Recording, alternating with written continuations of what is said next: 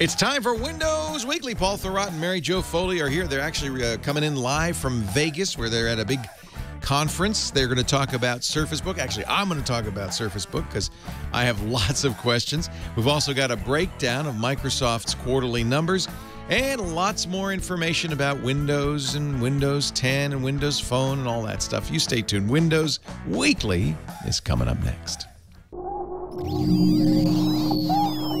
Netcasts you love. From people you trust. This is TWiT. Bandwidth for Windows Weekly is provided by CacheFly at C A C H E F L Y dot com. This is Windows Weekly, episode 437, recorded Wednesday, October 28th, 2015. UTC doesn't change, but we do. Windows Weekly is brought to you by the Ring Video Doorbell.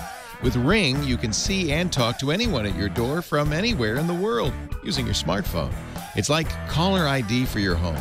Right now, get free FedEx shipping when you go to ring.com slash WW. And by Wealthfront. Wealthfront is a low-cost automated investment service that is the most sophisticated way for you to invest your money. Whether you've got millions or you're just starting out, visit wealthfront.com slash windows to sign up and get your free personalized investment portfolio. That's wealthfront.com slash windows. And by ZipRecruiter. Are you hiring? With ziprecruiter.com, you can post to 100 plus job sites, including social networks, all with a single click. Screen, rate, and hire the right candidates fast. Try ZipRecruiter with a free four-day trial now at ziprecruiter.com slash windows. It's time for Windows Weekly, the show where we cover, cover the latest uh, news from Microsoft with two of the most prestigious, most informed, the scoopiest of Windows press. This is- you are Scoopy. Scoopy Doo. It's uh, and today from Las Vegas, Paul Thurrott of Thurrott.com, Mary Jo Foley of AllAboutMicrosoft.com. And despite appearances, they are actually in the same room, but they've. I hate to interrupt this, but Yes. I was just served chocolate covered strawberries, so I'll be right oh back. God, are you living the life? You are having fun. You're there for the IT DevIntersection, right? Mm-hmm. That's a conference. Uh, Richard Campbell uh, I somehow involved with Somehow. somehow, unless he didn't come Yeah. back from Africa. I think he's there. Uh, no, he's here. I just saw him this morning. Okay, and uh, Yep. you're you're doing a panel in about two hours, so we'll we'll get through this That's right. Um, but anyway, great. Did you having fun? I mean, I got in super late last night, so you have to talk to Mary Jo about that. You like your so room far, though? so good. Yeah. Yeah, our rooms are amazing. There's a swimming Yeah. pool, bathtub. There Yep. it is. Yeah, Two bathrooms in this room. yeah. The MGM Grand, I think, must have recently got renovated because when we stayed there as a Ziff Davis hotel, well, first of all, it was famous for having 5,500 rooms Yep. in one hotel, which is like, mm-hmm. Right, what? right. And it is, you're right, a mile and a half from the Oh. entrance to the back. What's What's Yeah. great about it is there's a map, and it says you're here, and you got to get here. But the way to get there is you go doot doot doot doot doot. Yeah. you know, it's. I'm not saying it's like 1.5 miles or anything, but it's Might pretty be. far. Yeah. Yeah. That's nice. Do they still have the uh, Emerald City bar with the flying monkeys and, and all of that? Hmm. No, they don't. They that. took that out, I think. That was. I was telling you before the They're- show, Ziff Davis had a deal, and uh, we would always stay at, during Comdex it's at uh, the MGM Grand. Uh, Mm-hmm. and They had like a 10 year deal, and we knew this was where we'd be staying for the rest of our lives. Pretty Yeah, much. yeah. Are you in the feel like tower? are you in the tower or are you in the We main? are. In, yeah, in we're in the the Yep. towers. yeah. Tower. Tower one. Tower of Terror, some call it. Yeah, Uh, it's Don't nice. worry, that hotel hasn't burned down in years. it's Mm. okay. You can you can almost not smell the smoke. yeah. No, it was a different building actually. It was way down the Yeah, strip, the old MGM. This is I I, I uh, I'm glad to hear you're you're being treated like the superstars that you are. I, I actually feel like I'm being treated more than I deserve. I this is very strange. Nice. I, I'm glad. Yep. I'm glad. Um, just was telling them before the show. Got my Surface Book on Monday. Fell in love by Tuesday. It's all Mm-hmm. over by Wednesday. No, no, I'm just kidding. I uh, I'm really happy with it. It's the fit, finish, the way it's made, uh, the the things Yeah. it does, um, it's just it's just sweet. The I'm way very- it does the things it does. the way it do the things it do, and then of course Wired had a great article about Yeah. um, how you know the behind the scenes with Panos Panay, kind of confirming something that you guys thought. Well, Well, New. new. but go on. Well, no, no, no. I think this is more opinion than fact. But uh, one of the things Mm-hmm. that uh, apparently, according to this Wired article, they had a laptop. They've been doing working on it for years. They had a Oh, laptop, laptop. but they said it's not enough to do a laptop. We have to do Oh, something besides aim at the straight at the MacBook. By the way, it was how do we beat Apple? It was how do we beat oh yeah, Apple? of course, Yeah. of course. Uh, and they, but they had to do something different, and that's when they came up with the idea of detaching the screen. And as you've Right. pointed out, there's a compromise involved in that. It makes it heavier. It's got its own battery. yeah. Um, and as you know, you know what else you see? It's too bad you don't have it there with you, Leo, because Oh, when you sorry, I look at it at just the screen part of it, um, and how thin it is compared to a tablet, right? Obviously, Mm-hmm. for if it wasn't a screen, if it was just a screen, it would be a lot thinner. But um, there's there's computer guts in there, right? It has a CPU, it's graphics, it's RAM, battery. Um, you're looking at clearly looking at the next Surface Pro, right? Um, because that thing is thinner than a Surface Pro 4 is Oh, today interesting. because a Surface Pro 4 is is kind of uh, bound by the dimensions of a USB port. right. Well, they, they could put a USB C port in this thing, right? And there's your next Surface Pro. Mm-hmm. You just need the kickstand. Mm-hmm.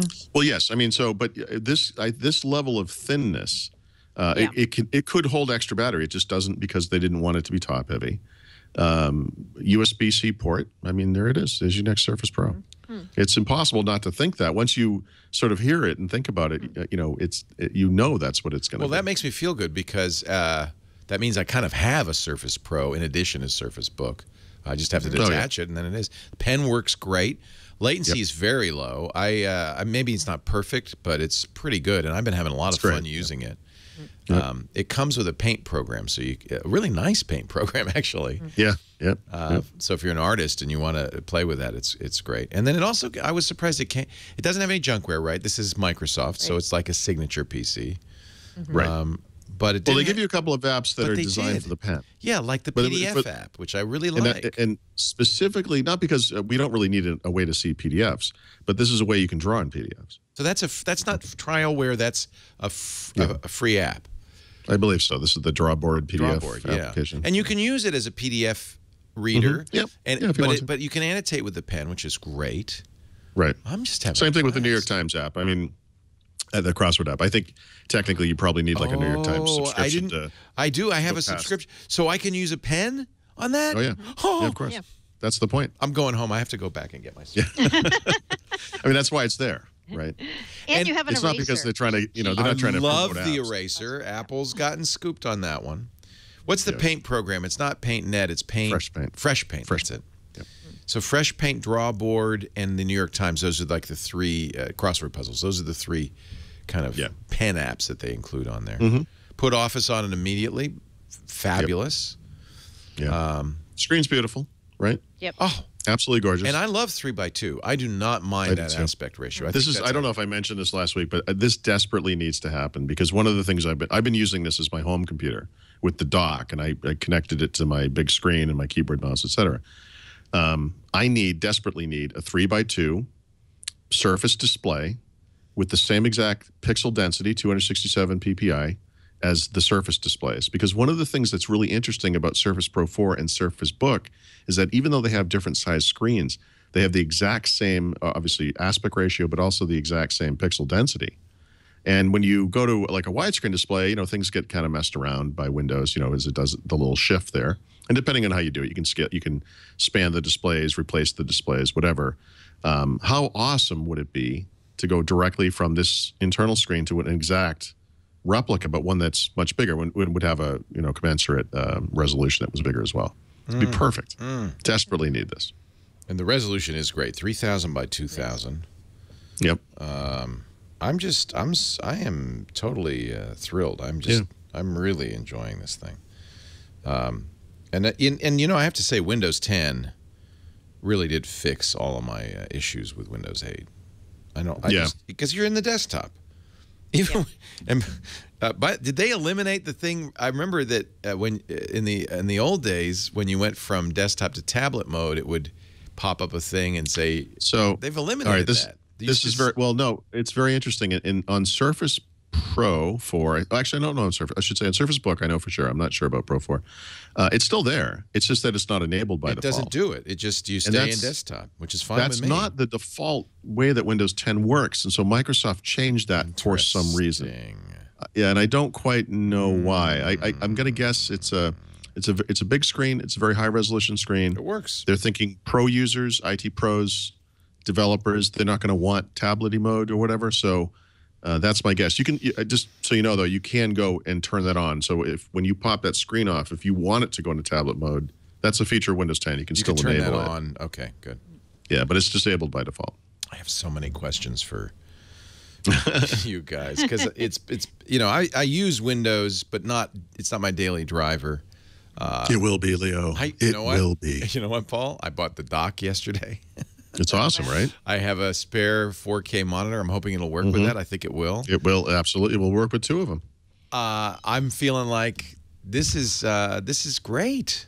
They really did a nice job. It, it- Since we've uh, started recording this podcast, by the way, um, someone oh, has come oh, to the did door you want to record this today? Okay, I'm sorry. Let me start over. No, go ahead. Yeah. Yes. No, since we've started, Yes. someone has come to the door twice, and now my phone has rung. Go ahead. You want to answer the door? Maybe that's more no, I don't. No, I, strawberries. I, I really don't. But I'm just amused that uh, they're uh, trying to contact me so much. I don't understand You're what's going popular. on. It's probably a fire. No, pre- press that do not disturb button next to your door. Yeah, really. Oh, Mary Jo, see, she's got it sussed. She knows she knows luxury hotels. Paul's only I, stayed oh, I do. at places like the Yale Club. I'm which- actually sleeping on a canvas bag in the corner. I feel a little out of place. that's the like a that's like the dog I've bed. a, Paul, I don't brought like a, a bag full of hay. Oh, anyway, um, and I and I mentioned this before the show, but I should I should reiterate uh, during the show. I know Mm-hmm. you had some issues. Both of you have had issues with the trackpad uh, reliability issues, things like yep. that, uh, keyboard issues. I haven't had any of those. So, let me let me uh, since we're doing Surface, let's let me provide a quick update on this Okay. because, uh, and I'm curious to see what Mary Jo's experience has been on the i7 based Surface book that I have. It is far more reliable than the i5 pre-production version I had. I still Ah. have occasional things. I will say, if you have a Surface book, I think they're going to fix this stuff with firmware updates. But um, anyone who uses a Surface Pro 3, Surface Pro 4, probably uh, is maybe familiar with this notion of the keyboard stops working and you kind of unclick it and click it back and then everything's fine. And and the Surface Book version of that is detaching the screen and then just reattaching it. Right? It's annoying. It works. Um, it- it's much better than it was on the pre-production. I have not unit, had it happen to me at all. I haven't ever. had that happen to me either. Okay, That But must you- be but have- firmware fix that's they've. But a lot of people are experiencing this. Uh, yeah, they you are. look online, a lot of you- people you- have had it. okay. And it's tough because this is a computer that starts at fifteen hundred bucks, and you want to Yeah, kind of nail that should be the experience. perfect. Yeah. Um, I, I do think they're going to get it right. They shipped a bunch of firmware updates uh, Yeah, on the you, on day did one. you put those on? Your uh, yeah, uh, well, I, I didn't have to because they sent me a thumb drive, right? yeah that had that stuff on it already. Um, so as I didn't As far actually. as I know, so I got my Monday. I mean, it was you know, if you ordered day and date, you got it October 26th. I had updates. I don't. I think there might have been one. f- like a hardware. Something, Maybe there was like a firmware update. Yeah. Yeah. Yeah. Um, It's but I, not one. I, really I did I did apply those updates because I didn't get the thumb drive, and I noticed that um, now when I press the detach button on the keyboard for taking the tap uh, the tablet part off, it is Yep. much simpler. I was having trouble. Like I was, it was sometimes detaching, sometimes half detaching, and then now it Right. just seems to work much more smoothly than Yeah. it did. yeah. Interesting. Battery I- I- life is I- really, as you had reported, variable. So yesterday I had Yeah. it. Yeah. I was using it on the shows, which means I was using it pretty heavily. Oh, screen was always on four hours. It seems to be smart Yeah. about how it uses the battery too, because Yeah. if you, there's there's two concerns here. One is that you could detach it, and if if the battery inside the top part had already dispensed, you know, obviously the thing shuts off. Um, the other issue is that if the battery's down to a certain percentage, you can't detach it. right. Oh, it really? won't let you. Okay. Yeah. No, it won't. It, it's a I don't know very if it's weird. five or five or ten percent. It's a weird thing because it's two batteries. They're split up, and it Yeah. shows you there's two batteries. And it, what it, It does, does. is it, it draws down one to about Right. 30%, then starts drawing down the other one as well. And you're I had, right, you uh, can't detach it if you get too low, but, and for obvious reasons, you'd be Right. cutting it off. I was taking, I took pictures of this as I went, but on the flight here, I did about six hours in the air, and I wrote for about three hours. They had Wi-Fi, so I was able to get online, and then I watched uh, some 1080p, or a 1080p movie and part of another one. And let me just see what this says because I took a picture of it. So when I arrived, it was uh, 33% battery left. The top one had 32% left, and the bottom one was 35%. So actually, a little bit on each. Uh, about three hours of life remaining, it says. And um, I also you know, used it uh, that way too, but I, I didn't watch a movie. I just worked for six hours, Yeah. and I had. Did you I know what it said? of- I had about um, thirty odd percent battery left, and I was running Chrome, and I was running TweetDeck, and I was secretly using a mouse sometimes. Shh. Right. So yeah, it was it was great. But then I've also gotten eight or nine hours. Uh, in fact, I Right. think the first Right. day. So Yeah. really, it does a lot depend on how you're using it. Also, by the way, it will depend on whether you have a discrete GPU. Uh, those will not Which get I as good do. battery life. Right. Yeah. Oh yeah, right. The other the other uh, thing I noticed is it doesn't charge super fast. Am I wrong, wrong on that? I feel like they the the it's the it looks like the same adapter as the Surface Pro. It's like a low wattage Oh, adapter. oh, oh, oh, Leo. Let me provide the biggest tip of the world for anyone who owns this device, Yes. especially people who have upgraded from previous Surfaces, because I almost made this crucial, crucial error. The power supply for this thing says Surface Pro on it, and it looks exactly like the power supply for Surface Pro 3 and Surface Pro 4. It is not. It is a different power supply. Ooh. And if you bring a, the wrong power supply with you, uh, it is not going to charge your device. Ooh. So It It I almost break it. made It just this won't mistake. charge it. Okay, It good. won't charge it. So, So put a if you're label on it. upgrading, yeah, I mean, the, the pro- obviously the Surface Connect pin is exactly the same. Yeah, it fits. It plugs in, it, it lights up. Yep. It doesn't charge it. So Oh, wow. uh, be careful with that uh, if you happen to, you know, if you're upgrading or whatever. Because I think a lot of people who do that will say, well, you know, I can reuse some of my peripherals, whatever. And that's absolutely true.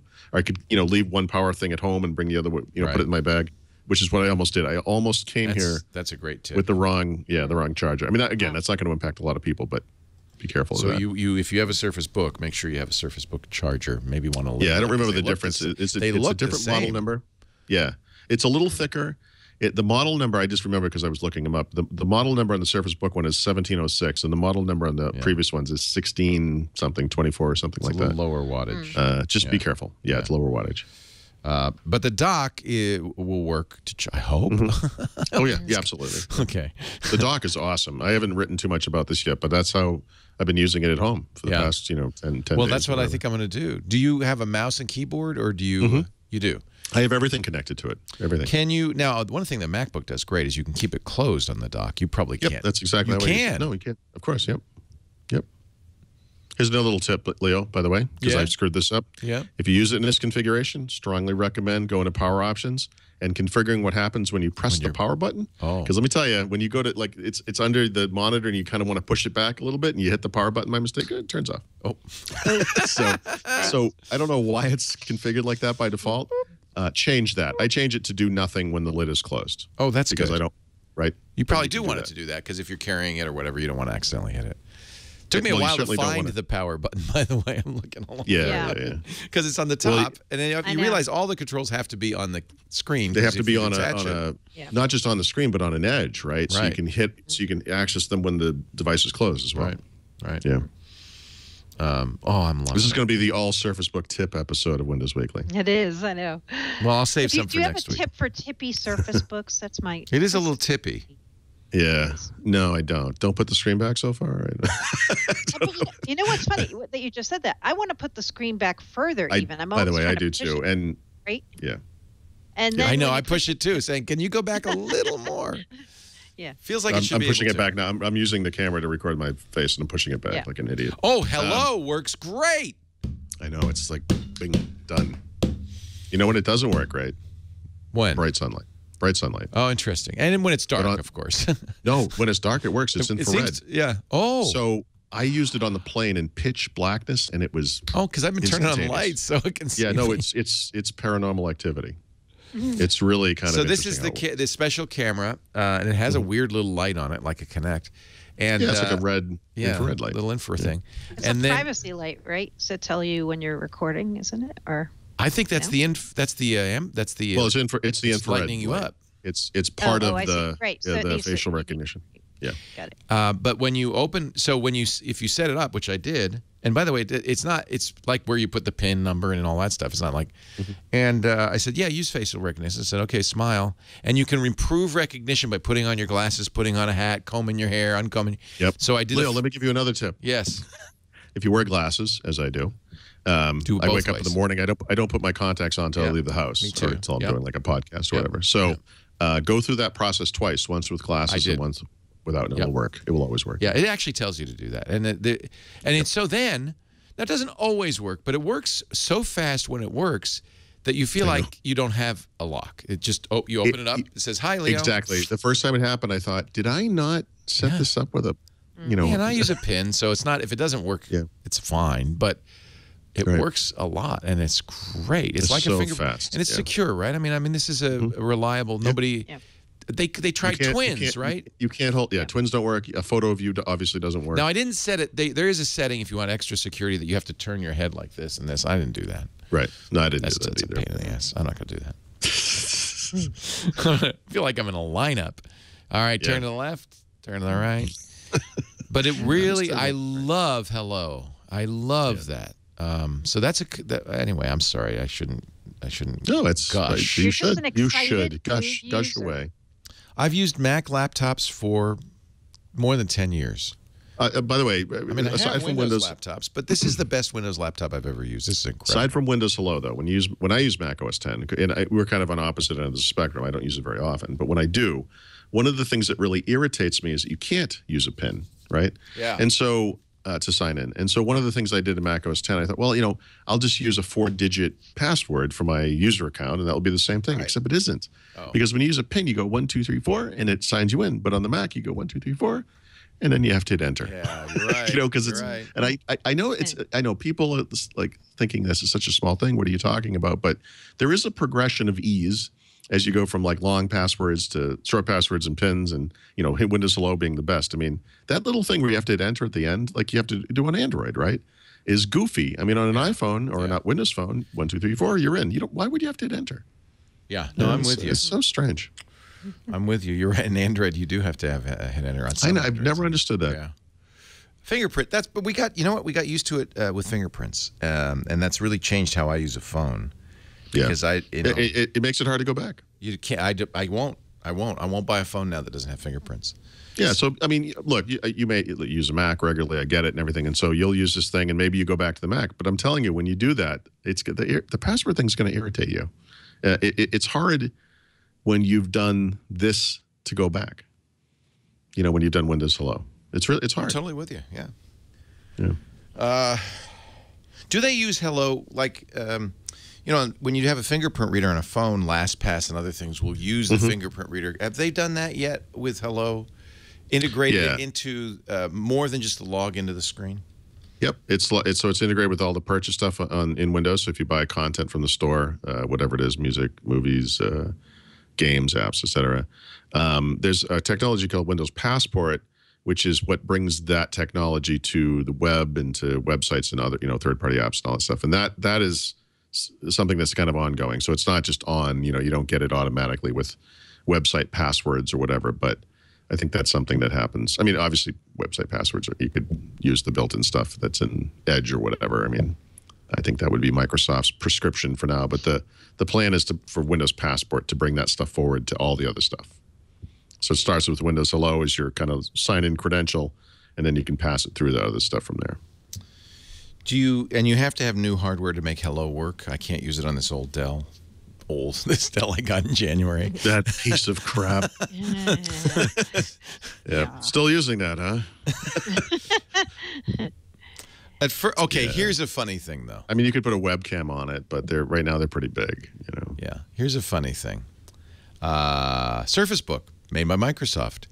Turn on Cortana. It says, you know, this microphone isn't really made to work with Cortana, but uh, does it say I'll that? try my best. That's awesome. It's a Does it Realtek array mic, and it says, yeah, this is not designed for Cortana. Oh, that's fun. got to be a I bug. That's just annoying. it works. I wonder if not very well. I wonder. I wonder if that's related to the firmware thing, because you know on the pre uh, production units, we didn't have Windows Hello, and Oh. um, Right. I wonder if that. Well, I got the same related. message on my Dell, and I was looking forward to having compliant hardware. Yeah, yeah, yeah. I haven't seen. I've not seen that message. I'll was a share little with you. weird. Interesting. Yeah. Um, Okay, that shouldn't happen, Leo. yeah, it works, I guess. You're using you're using it wrong. I'm doing it wrong.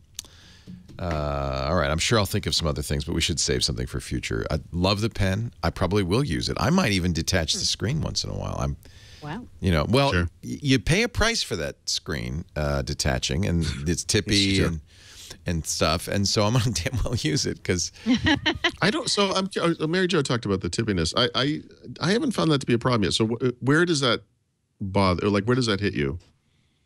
The Uh, tippiness. all the time, pretty much on desk, on my lap. Um, yeah. So. Uh, really on me- desks. Yeah, because sometimes I don't use touch much, but if I do, maybe I'm just touching it too hard. I don't know. It wobbles yeah, you're and it touching feels it like wrong. Yeah, then I can grab it because I think it's going to tip over. And sometimes I try to open the uh, lid too far, and then that tips it over. On my lap, I can't type at all with it No. on. it does make it unlappable, I guess. Um, It just falls right off. Yeah, yeah, yeah. Yeah. I don't. And mind. I that's find one of it- those I- I- things- I, you know, I it makes you say, okay, they knew that a lot of people were not loving the lack of lappability of Surface Pro. So you, that that to me is one of those things you think, okay, and this one we are going to make this really lappable. And it's funny that it's not because that to me, I, I know they had to make compromises in the design, but it just kind of says to me, did anybody put it on their lap and try it? You know, the, because the, the compromises in the design would lead to it being more lappable. It seems to me. In other words, they're not letting the Yeah. screen go back very far to begin with, so right, it, that would aid that. you can't I- use uh, it the on your problem- lap though. I can't. You can't. No, I have short. I have short upper legs. It's very strange. No, it's nothing about your legs. It's about the top heaviness of this thing. Well, I mean, I think a lot of people in the Surface team would respond to this by saying, "But we made the Surface Pro 3 lappable. I don't understand this complaint." I know, You know, right? right? I mean, I think that's how they think. So I don't. I think they really knew the truth, but I don't know. Yeah, It depends on who you are. I mean, I, I think Surface Pro. Some people can use it on their lap just fine. Um, this one, uh, you know, yeah, it's hard. it's just you can use it if you just want to look at something like a movie or read something, and you're not touching the keyboard. But once you start to type, that's when it when it's like precarious, right? Speaking of which, I actually on the plane. I, I don't know that I'm going to do this a lot, but on the plane because the guy in front of me at some point did put his seat back. Yeah. I, uh, it, you know, had moved on to watching movies, so I actually, you know, took it off, flipped it around, put it back down, you know, turn the whole thing around, and, and so now it's kind of, you know, we the screen's in the front here, and Yeah. you know, it kind of fits better in that triangular space, you know, formed by the seat, um, and it works fine. You know, it's it's a little goofy doing the whole. You know, you, you, you pop it off, you flip it around, you pop it back on. You're doing this in the dark, and so it's kind of Yeah. hard. And then you have to turn the whole thing around, right? Mm-hmm. So that the screen is now facing front again. Uh, and I discovered in this mode that the uh, the keyboard no longer works, uh, which I guess makes sense because you wouldn't, you know, Yeah. be putting your hands behind there or whatever. Have you folded it over so that the keyboard is under it? Have you done that position with it and kind of used it as a as a slightly angled device? Just to, te- you know, just to see what it Yeah. looked like. I'm not. I'm. The truth is, I'm never going to sit there and draw on the thing. So. Yeah. Um, I'm disappointed. You're an artist. But you know what? It, it's um, it's like anything else in life. You've done things a certain way for a long, long time, and you're it's hard to comfortable doing it. yeah. And I have terrible. I used to have. I, I still have a lot of my high school notebooks and stuff. I had wonderful handwriting when I was a kid. Ugh. And uh, I, right now, it's chicken scratching doesn't even begin to Yeah, describe it. I, my hand cramps yeah, up writing a check. You know, so Yep, yep. I can't do it. Uh, I'm just trying to think if there's any other any other big thing to mention. By the way, people, if you are in Vegas, you are at the IT DevIntersection. Paul and Mary Jo are going to be uh, bringing their Surface books to that panel they're Yeah, doing. kidding. Right? I brought it into the speaker lounge this morning. I don't know if you experienced this yet, Mary Jo, but Yeah. uh, a bunch of guys were manhandling it, including um, Scott Hanselman, who made like a little video of him popping the screen off. You know, so It's someday fun. when that video appears online, that's my Surface book that he's Nice. doing that on. You know, it's so funny that in the Wired article, Panos Panay kept saying something about clicky clicky. We don't want clicky clicky. Like they made that a joke. Mm. Are they mocking the Themselves? Surface? Yes, the Surface Pro Yeah. ads. Yeah. Because it don't know. sounds like they kind of are. I, I've always had this theory about the Surface and the and the keyboard that that clicky sound was not done on purpose. It's something that just happened by the nature of what they had built, and that they they found it so unique they thought they would Make kind a- of focus on it in out of it. advertising. Yeah. Like I, I don't think they, you know, made it that way on purpose. I think it's it was just you know you have magnets and the things slap together and they make a sound and they're Yeah. like, huh, that mm-hmm. makes us you know that, that's one way you can tell someone has a Surface. Mm. Yeah. It's just a theory. But this makes a little clicky sound. You know, it's kind of hard to hear sometimes. Yeah. But mm-hmm. I love the recorded chunk. I know it's so, I know. so I do silly. too. It's I like totally it. believable because it happens exactly the same moment that the thing releases, and there's a little physical movement, and so it's totally. Uh, if you hadn't Mm-hmm. Yeah, you told me, buy I would. yeah. Yeah. I buy it totally. Yep. Yep.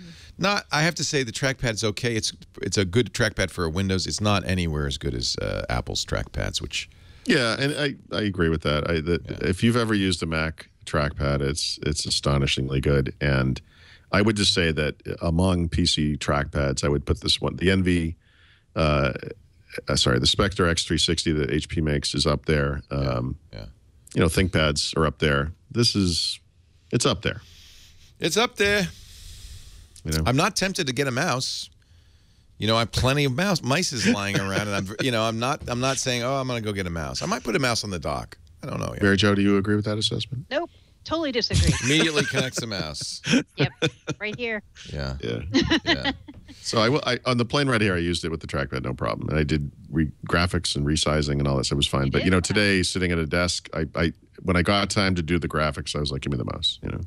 But it's the track for trackpads. It's a good trackpad. Yep. I have to say, I'm It's the first trackpad on a Windows machine I've ever been able to use at all, pretty much. Yeah. I mean, I'm using it sometimes. But yeah, still, and it, it supports uh, great uh, gestures if you want to use those. Um, it has uh, a lot of functionality if you go into the settings uh, app and look at you know mouse and, and touchpad. Uh, a lot of stuff in there you can configure on it. Mm-hmm. I have to say, having a touch screen makes me not worry so much because I just love. it. I can zoom. I can. I can Yeah. swipe. I mean, uh, Yeah. The zooming on touch is great. It's I it's think that's probably the one reason I use touch. it's so great. I like. It's just one more language. It's just one more Right. kind of idiom. Yeah, that and you that's the can thing. I- I- I love it. When- When this first happened, I think a lot of people said, "Oh, come on, no one's going to replace a mouse. No one's going to replace the keyboard," and that's not really the point, you know. Right. Um, It's supposed to be And you it- can it- use it- everything, right? It's an And adjunct. yeah, you can you can use any. co- I, I find myself even in the laptop configuration. If I'm reading an article, I'll pop the thing full screen, reading mode or whatever, depending on the app, and then uh, just flick through it with my finger. You know, Yeah. um, it it feels very natural. It works really well. Um, the keyboard and mouse are there; they still work. You know, but I, you know, I, it's just another thing. Right. It's nice. I like I like that we have choice. I, I'm glad they Yeah. didn't make it so the mouse doesn't work anymore to try to force people not Right. to use a mouse. Uh, Although, by the way, uh, Mary Jo, if you haven't done this, sorry, Leo, um, you can configure this to turn off the trackpad if you plug in a mouse. Oh yeah. way you I don't get I- any I keep errant thinking about that. Yeah. Yeah, it's worth doing. Mm-hmm. Is it? Yeah. Okay. mm, I've not heard the fans come on at all. Maybe I'm not doing, Really? I'm not doing enough to. You know, it's so random when it happens. I can never figure out what is I making think it you happen, guys and it got doesn't happen. pre-production models. I really think. you Well, I don't actually. I don't actually have that problem. You don't. Okay. No. So that that was a big problem. It is still a big problem on Surface Pro, Pro 3. Um, Surface Pro 4 and Surface Book, no issues. Um, the fan does come on. I mean, um, if you're playing a game, for example, I, I loaded up Far Cry 1080p. The fan kicks in. I mean, there's no way around that.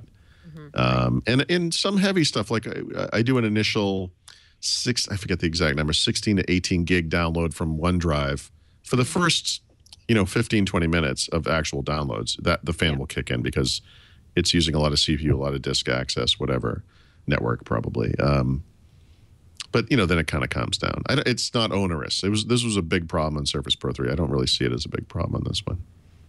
Good. I don't anyway. I guess Mary Jo's having a No, I, it's not a big problem for me. Uh, but it, it's just I, I'm always curious when it happens. Like, what? Why is this happening right now? Yeah, you almost want to look at like show me the thing that's making this Yeah. happen, you know, because it's not doing anything. and Right. that's Surface. That's the Yeah. Surface Pro 3 experience. Yeah. We're going to talk some about uh, the new builds, Threshold 2. Um, There are other things to talk about, and of course, Microsoft's earnings. It's a cloud company, baby. It's all in the cloud. To the cloud. Yeah, and why I still get on my Dell something I have yet to see on my Surface Book, the blue screen of unhappy. You know, if you if you had had the Surface Book a week earlier, you would have seen that because. Microsoft let- Yep. update it. Yeah. Well, it's one of the reasons I'm very happy. I feel like Windows, so, and I want to turn off the insider builds on the Dell because uh, Yeah. I'm sure that's part of it. But I, I feel like Microsoft's uh, uh, got got kind of got Windows 10 uh, working. Uh, let's talk a little bit about my doorbell. Speaking of working, you know what you should do is you should get this doorbell now before Halloween. The Ring Video Doorbell. Then not only will you be able to see all the ghosties and goalies, or is it ghosties and ghoulies at your door, you'll be able to scare them by going, "What is it?" This is the most awesomest thing you can put on your doorbell. If you have a wired doorbell, it's easy peasy. You just unscrew the wired doorbell. You got two little wires coming out. They give you everything you need to attach the new video doorbell, including drill bits, screwdriver, even a level so it looks good. Comes in a variety of different finishes to fit your home. And then when you ring the doorbell, not only does your chime ring as as always inside, but your phone rings, your uh, your your tablet rings, and everything running the the app, and they have apps for iOS and Android and Windows. Everything that ringing ringing the app. And by the way, even in fact, it's so funny because when I do the show, my doorbell goes off all the time. I can see who's at the door. I can I can respond to them. I leave the package there. Who are you, strange person? Get away from my yard, whatever. Uh, in fact, this is a great security device because it turns out burglars come during the day when you're at work. They ring the front doorbell, make sure you're not home. When you don't answer, they go around back, break in, and uh, and they're done. Not with the ring video doorbell. You say, "Yeah, what is it?" And they say, "Eh, "Never mind, wrong house, wrong number," and they walk away. Uh, I also have motion detection for $30 a year. You can subscribe, and uh, they will record motion outside your door. I can go back in time. I can see when my my my my, my daughter got her boy bad boyfriend to drop her off two in the morning, and I can even see the bad boyfriend. And if, by the way, I happen to be up, I could say, "Hey, hey, get out of here." So I'm just loving it. I can't wait to play with it this Halloween. If you'd like to get a Ring Video doorbell, we got free FedEx shipping, so you, you probably can get it by Halloween if you go to ring.com slash WW. Ring.com slash WW. Connects to your Wi Fi, works great. No, oh, by the way, if you don't have a wired doorbell, it still works because it's got a lithium ion, year long lithium ion battery inside. So you get all the benefits of the Ring doorbell, even if you don't have a doorbell. Oh, I love it. Ring, one of the top 10 gadgets of 2014, according to Time Magazine. Ring.com slash WW. Get your Ring video doorbell today. Paul Thurrott, Mary Jo Foley, they're in Vegas for the Dev IT DevIntersection Conference, and they'll be doing a panel shortly. So I want to make sure that we uh, we move promptly through this. I am on build 10565. Is that right? Is that the current build? Still? I believe it is. Yeah, they haven't Yep. updated. They did. You got on the plane and they didn't update Windows. What a I know. shock! What happened? Shocking. Yeah, Ga- actually, Gabe apologized for that. I told him that I was flying on Friday as well. Ah, So, there's still a chance. yeah. Exactly.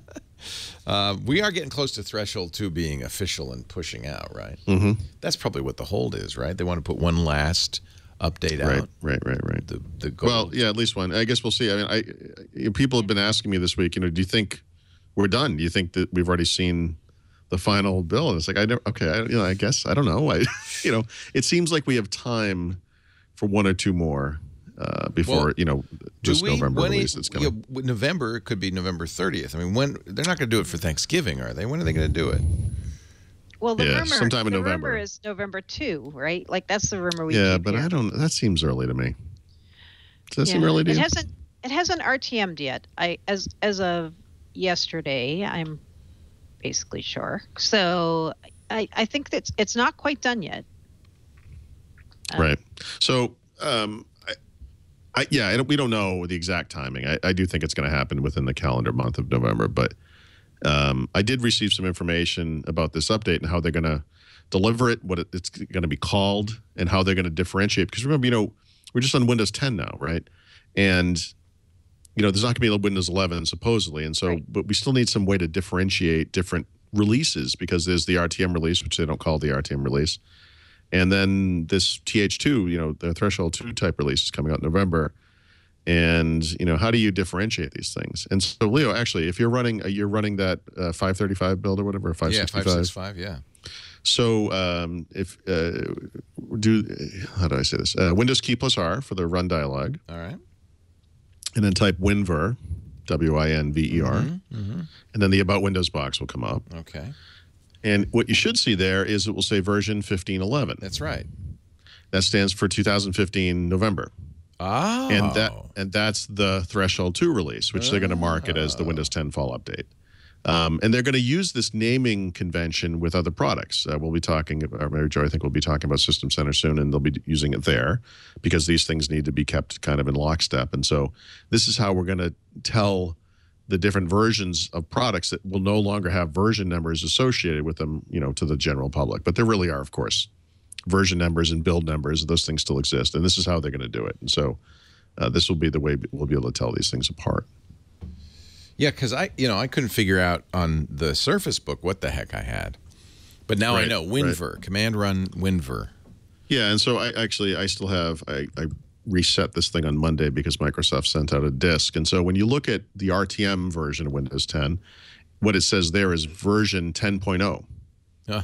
It- you know, right? So you know, I- I guess if they had come up with a system earlier, it would have said 1507 or whatever. Um, so yeah. There you have it. this is how we. There you go. Threshold two. Yeah. And is there any more news about what it will be, or it, we? It's Well, I mean, you know, most of it. fix.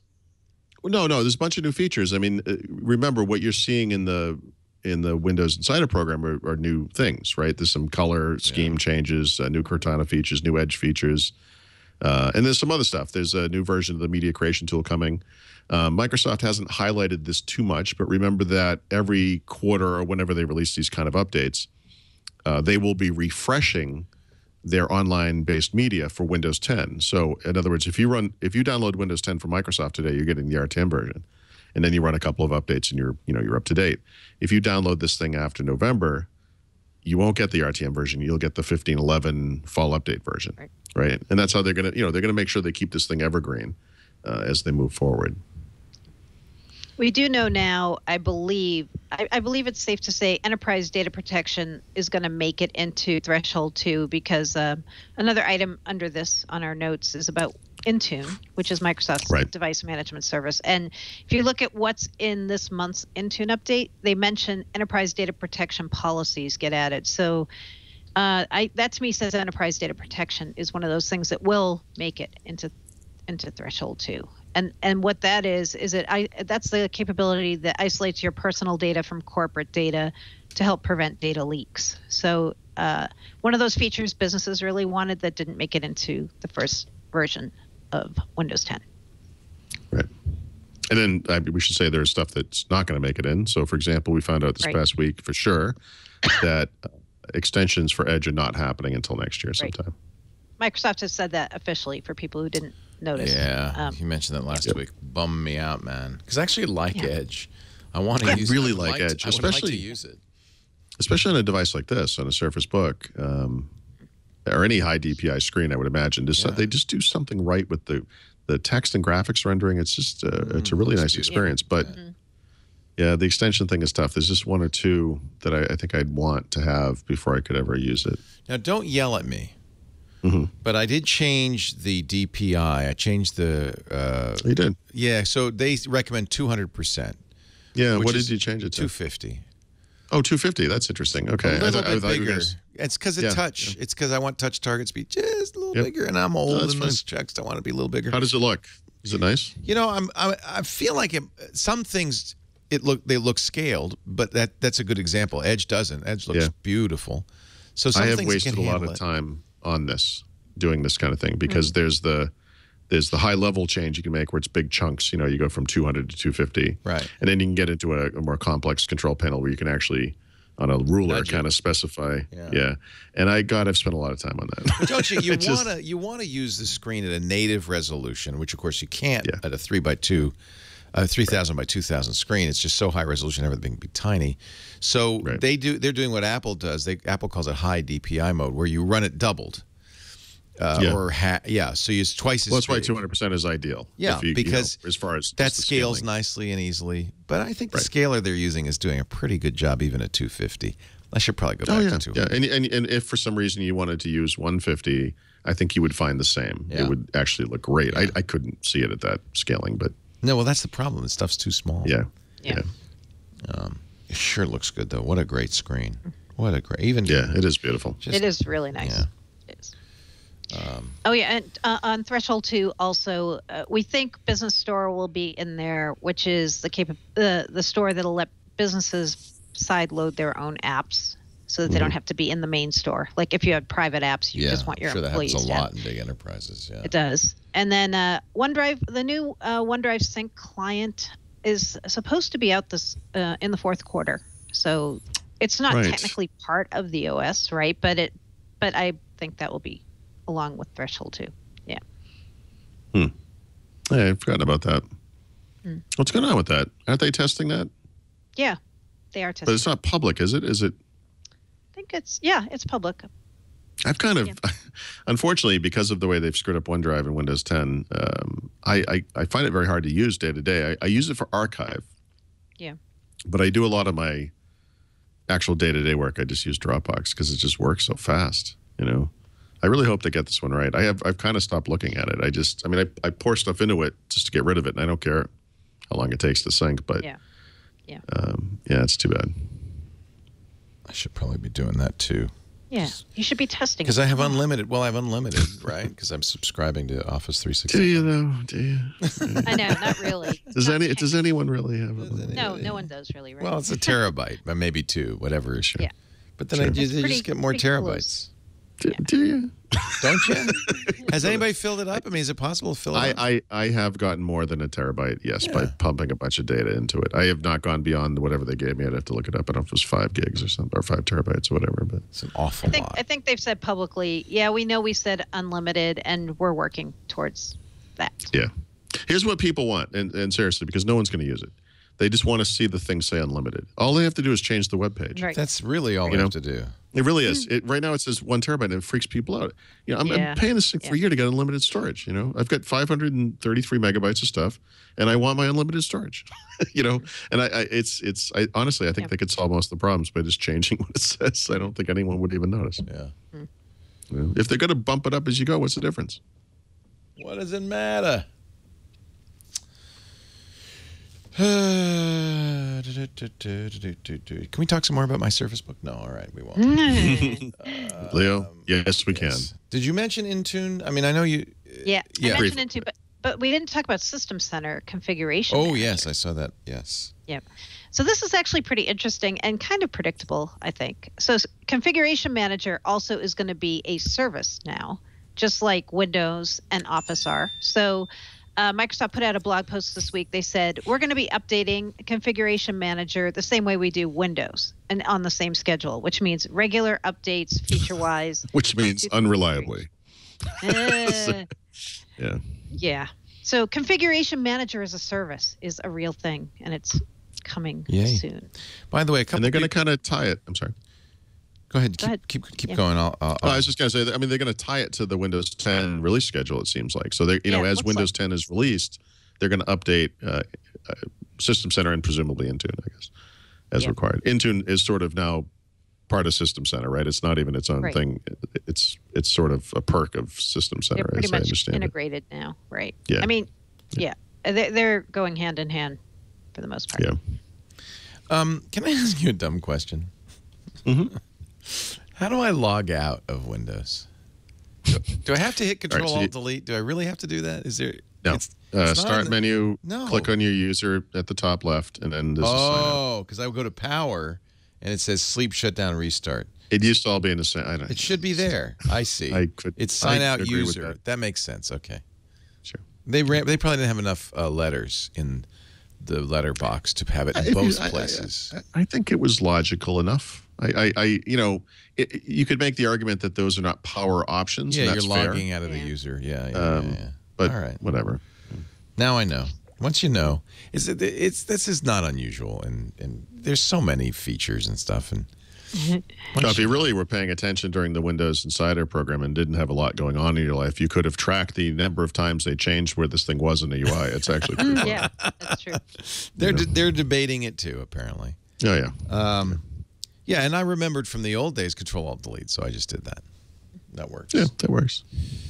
If you just want to lock the screen, uh, Windows key L, don't do it now, Leo. Uh, we'll we'll lock the screen. Actually, you can do it now. It doesn't really matter. No, I'm, I'm, I'm looking at a different one. Uh, okay, cool. Um, firmware updates for Surface. Well, wait a minute. We talked about that, didn't we? Yeah, we? we already yeah, got yeah. that one. We we did Surface first. Uh, we moved Yeah. it up. Yeah. Okay, let's get to earnings. Uh, the conclusion that mainstream media uh, came to, beside after noting that Microsoft's stock price was the high, highest it's been since the year 2000, I know, 15 Yeah, years. crazy. is Yep. that uh, the Microsoft's well, first and that Bing made money, which I read Bing? on Mary Jo Foley's. She said they made a billion dollars. Is she That's wrong? revenues. Rev- revenues. The- the re- Oh, revenue. revenue. They- Right, but but they, didn't lose money. Nope. They this was the first quarter I think it, since 2006. Profitable. seven, Profitable quarter, they right? Earned something. We don't know what they earned, but Oh, they didn't say how much it earned. It was 1187. They was didn't- put into petty cash. Okay. they didn't. They didn't. Yeah. I get it. All right. They're no All right. longer- By the way, I, I, losing before Mary Jo will have a lot to say. I'm sorry I, I, about earnings, but I, I just it really bothers me how they don't report anything anymore.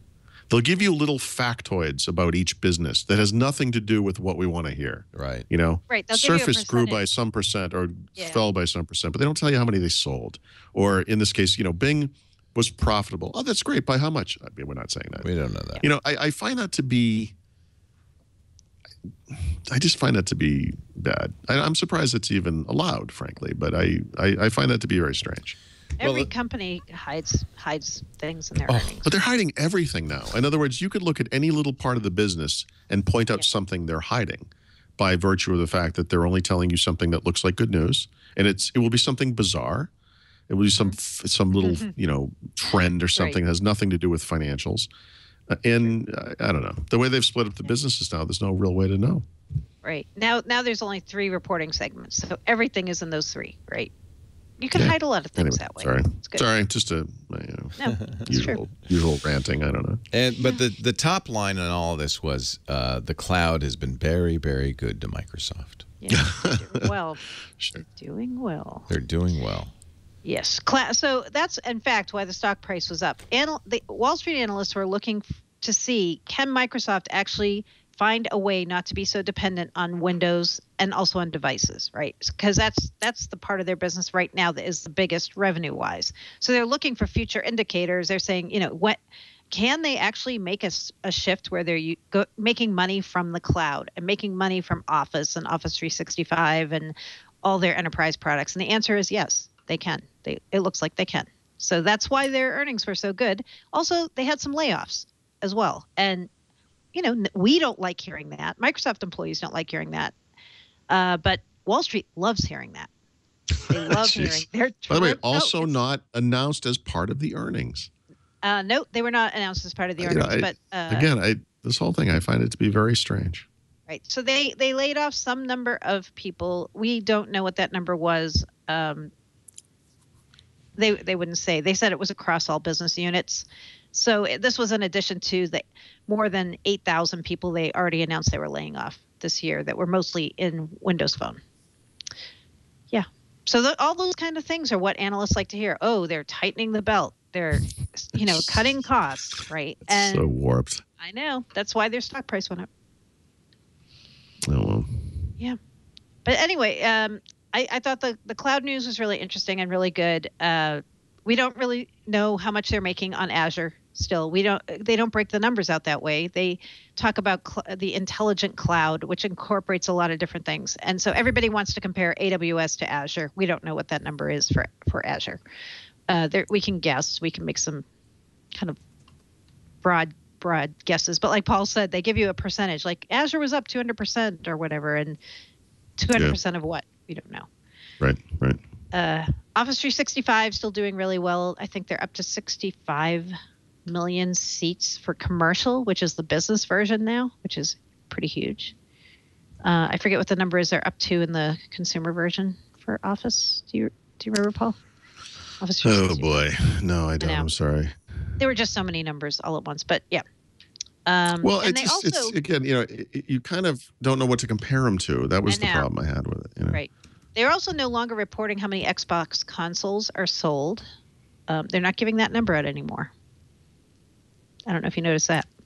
I that, by the way, is the biggest problem I had with this. That, seriously, we're not going to beat PlayStation. So here's what we're going to do: we're going to stop talking about how many we sell. Right. I mean, that was literally what that was, right?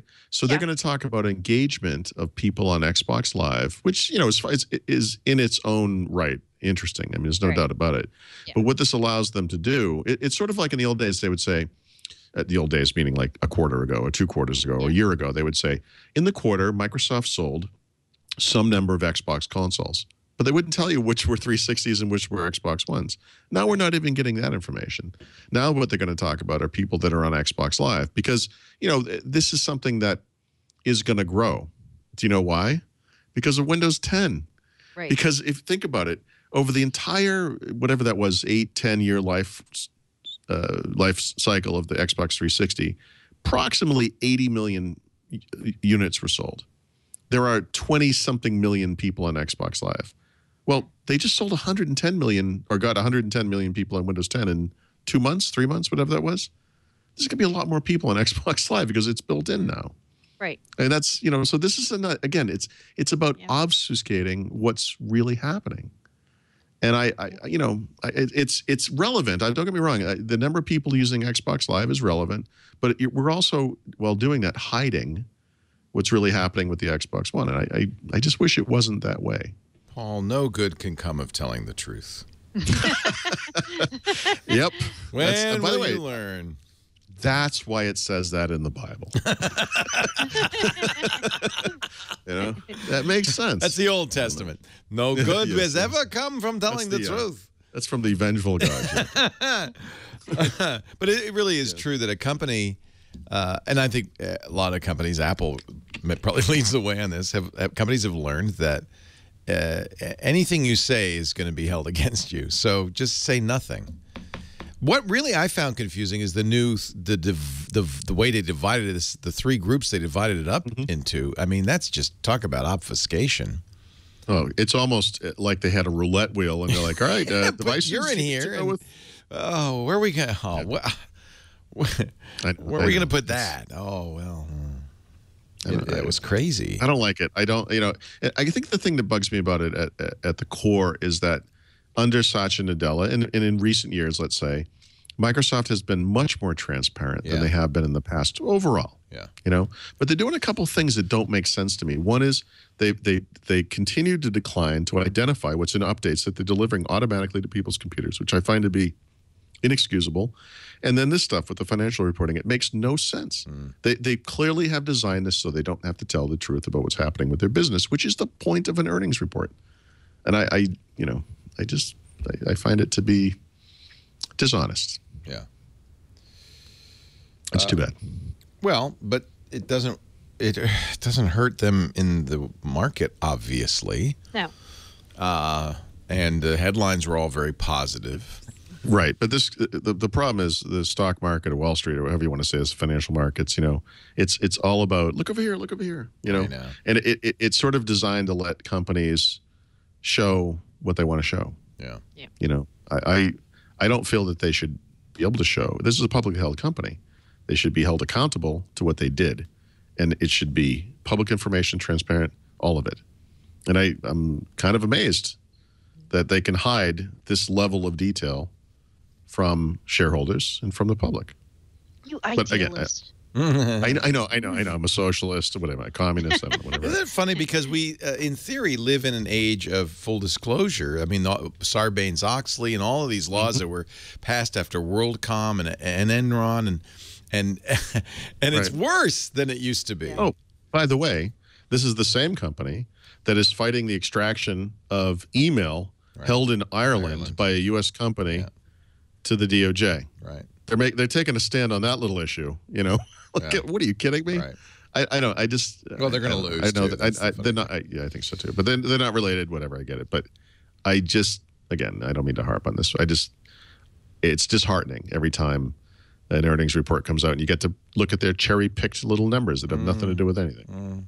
Mm. Mm. You should just be happy. They're doing great. I, Things are well, I'm so, fabulous. so It's happy. going swell.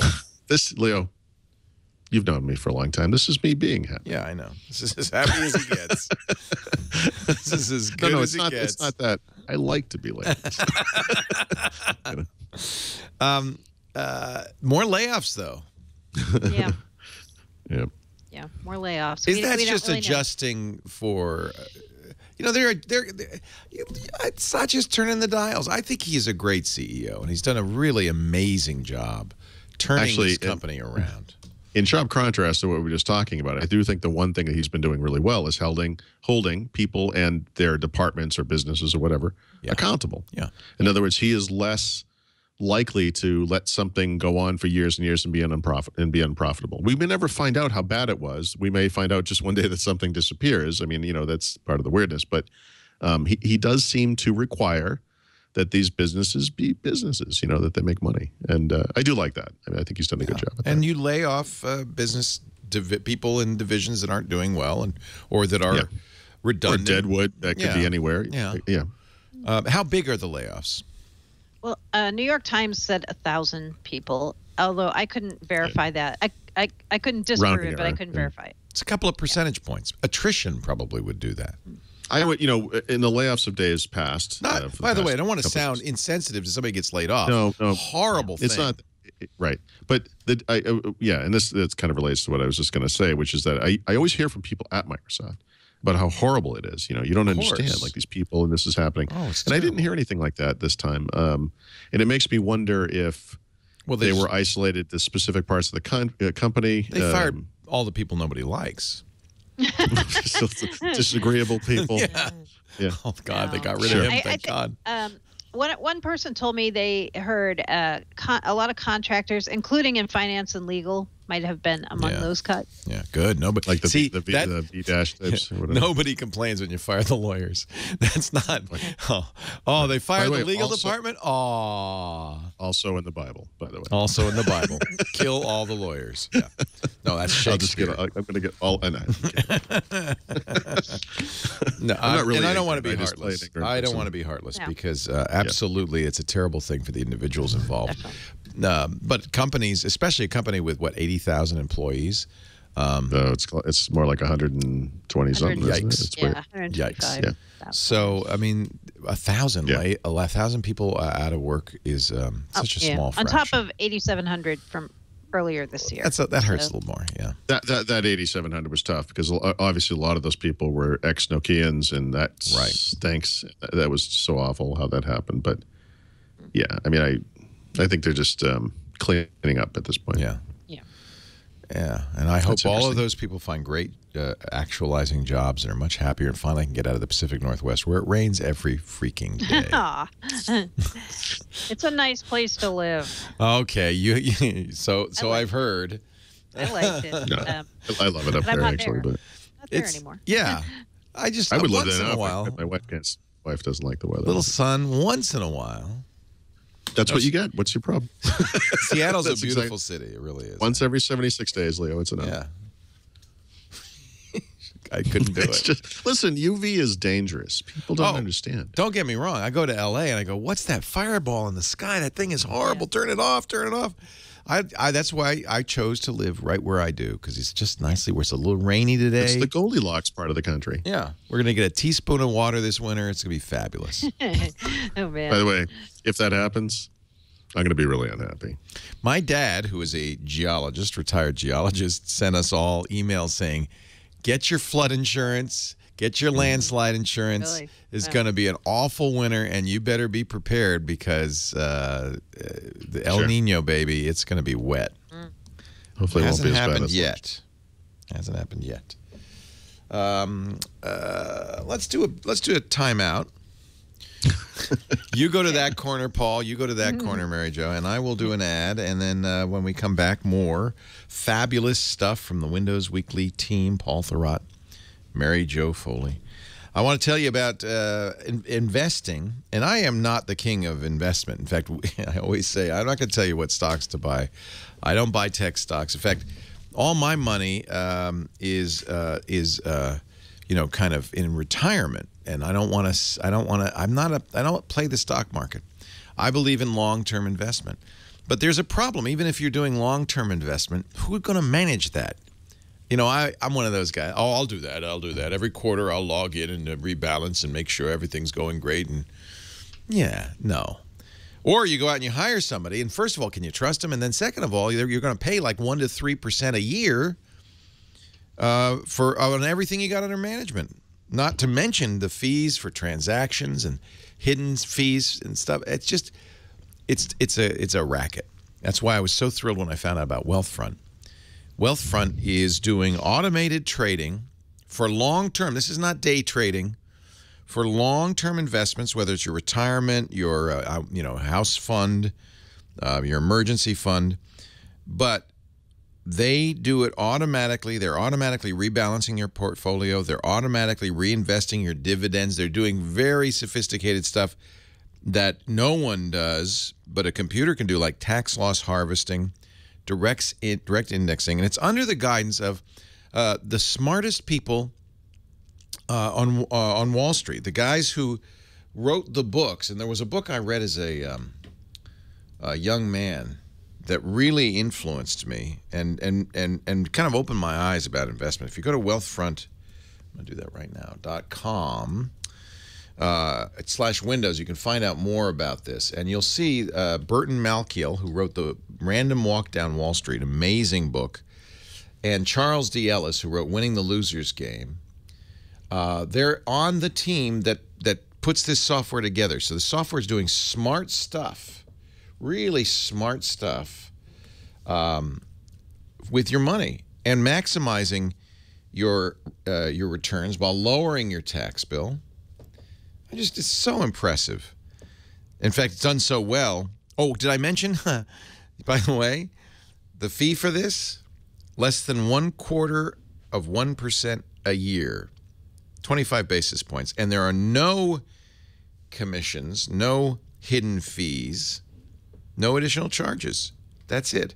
And I say less than because when you go to wealthfront.com slash windows, you can invest up to $15,000 without any fee at all for life. The beginning investment is 500 bucks. I've heard from many people who've heard these ads and have said, wait a minute, and they've put put some money in. They said, "Boy, I wish I put more in." This is incredible. Even in these downtimes, doing it right is great. They'll ask you. If, by the way, you could get your free uh, portfolio right now without any investment if you go to wealthfront.com slash windows. They'll answer a few questions about your time frame, your risk aversion or uh, or tolerance. And uh, they'll set you up with a free portfolio so you see exactly what they would invest. And that's one of the nice things. Their software uh, is optimizing your investment for the best risk adjusted return net of taxes and fees. And you can see every trade they make on your behalf right there in your dashboard on your desktop with a mobile app. So there's no mystery about this. And it's so affordable. We're talking less than five bucks a month to invest $30,000.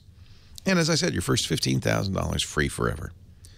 Wealthfront.com slash windows, $3 billion in client assets now. It's grown more than uh, 2,000% in the last two years because it's such a great idea. Wealthfront.com slash windows. And we thank them for their support of uh, Windows Weekly. For compliance purposes, I have to tell you, Wealthfront Incorporated is an SEC registered investment advisor. Brokerage services are offered through Wealthfront Brokerage Corporation, member FINRA and SIPC. This is not a solicitation to buy or sell securities. Investing in securities involves risks, and there is the possibility of losing money. Past performance is no guarantee of future results. Please visit wealthfront.com to read their full disclosure. Paul Thurrott, Mary Jo Foley, enjoying the Vegas weather. I hear it's very nice, pleasant in Vegas. So is there weather here? I they don't want you to know, experienced do they? No clocks. Uh, no, Yep. no, you know, you can't tell what's going on outside. They want you to stay inside. Enjoy the fine gaming. Yes. Are you going to do any shows? MGM Grand has a has a, a great uh, Cirque du Soleil show there. You should go see. Yeah, Kai, I've very I've seen that in the past, but I don't have to, I don't know Mary Jo has time. I don't know. I'm not going to have time No on this trip to do that. No time. Yep. No time. Um, Julie Larson Green going back to office. Is that right? She's bad. Yeah. Yep. She so Julie Larson Green has been the chief experience officer in Microsoft's application and services group for the past year or so. And as of this week, she also is now going to be again going back to office and heading up office engineering. Uh, so that was a job she had. At, I, I don't know if she ever actually headed up office engineering, but she was she was on the Office team for ages. She worked on Office XP, Office um, 2003, 2007. She did the ribbon. Um, so yeah, she's now go- going to go back and, and manage that team in addition to staying the chief experience officer. So she's she has had a lot of different jobs in the past. I'd say two to three years, maybe a little longer. She was on Windows. She was on devices. Um, she's kind of been here, here, here, there, and everywhere, but now back to Office. So yeah, it's part of these. Uh, there's beloved. a bunch of. She, she is very well liked by people who, uh, who've worked with her, who say she has a a good uh, ability to organize people and get people working together in teams. That's kind of her Yep. skill. I've heard that from a lot of people that Yeah. they really people have worked with her really like Julie. They do. Yeah. Uh, some other some other uh, moves in the reorg. Uh, one, another interesting move is when Microsoft bought Acompli, the email application vendor, back I at the end of last year. Yeah. Ha- Javier Soletro, is that his name? Soletro? Soltero, he was I the think. S- Soltero. He was the CEO of Acompli, and now he is heading up Outlook for all of Microsoft. Like he's Mr. Outlook, Yep. the company. Uh, and Microsoft said today that they're taking another ac- acquisition that they had made earlier this year, Sunrise, which uh, did a calendar app that was well liked, I think, on iOS and Android both. And they're going to merge that into Outlook. There So um, at some point in the near term, uh, well, I shouldn't say near term. At some point in the future, once Microsoft has taken all of the Sunrise capabilities from calendaring and put those into these Outlook mobile apps, they're going to discontinue Sunrise as a standalone app. So the oh, new, no. Yes, they are. They are. well, sorry, but they, but, they, you know, I use this it on sense. iOS. I use it everywhere. but, but they're going to put it put the features that you have in Sunrise into Outlook. So do you do you use the Outlook mobile app? Freaking at all? hate Outlook. You hate it. Okay, well, No, I like Then- Outlook on iOS. Well, the mobile app, I don't know what that. Oh, for iOS is fine.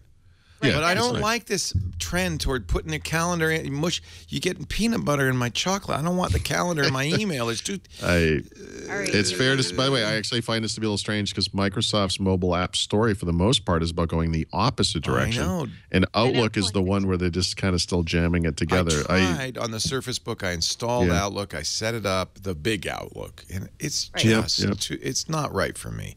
I understand if you're on an Exchange server, and you, you know there's lots of advantages to that.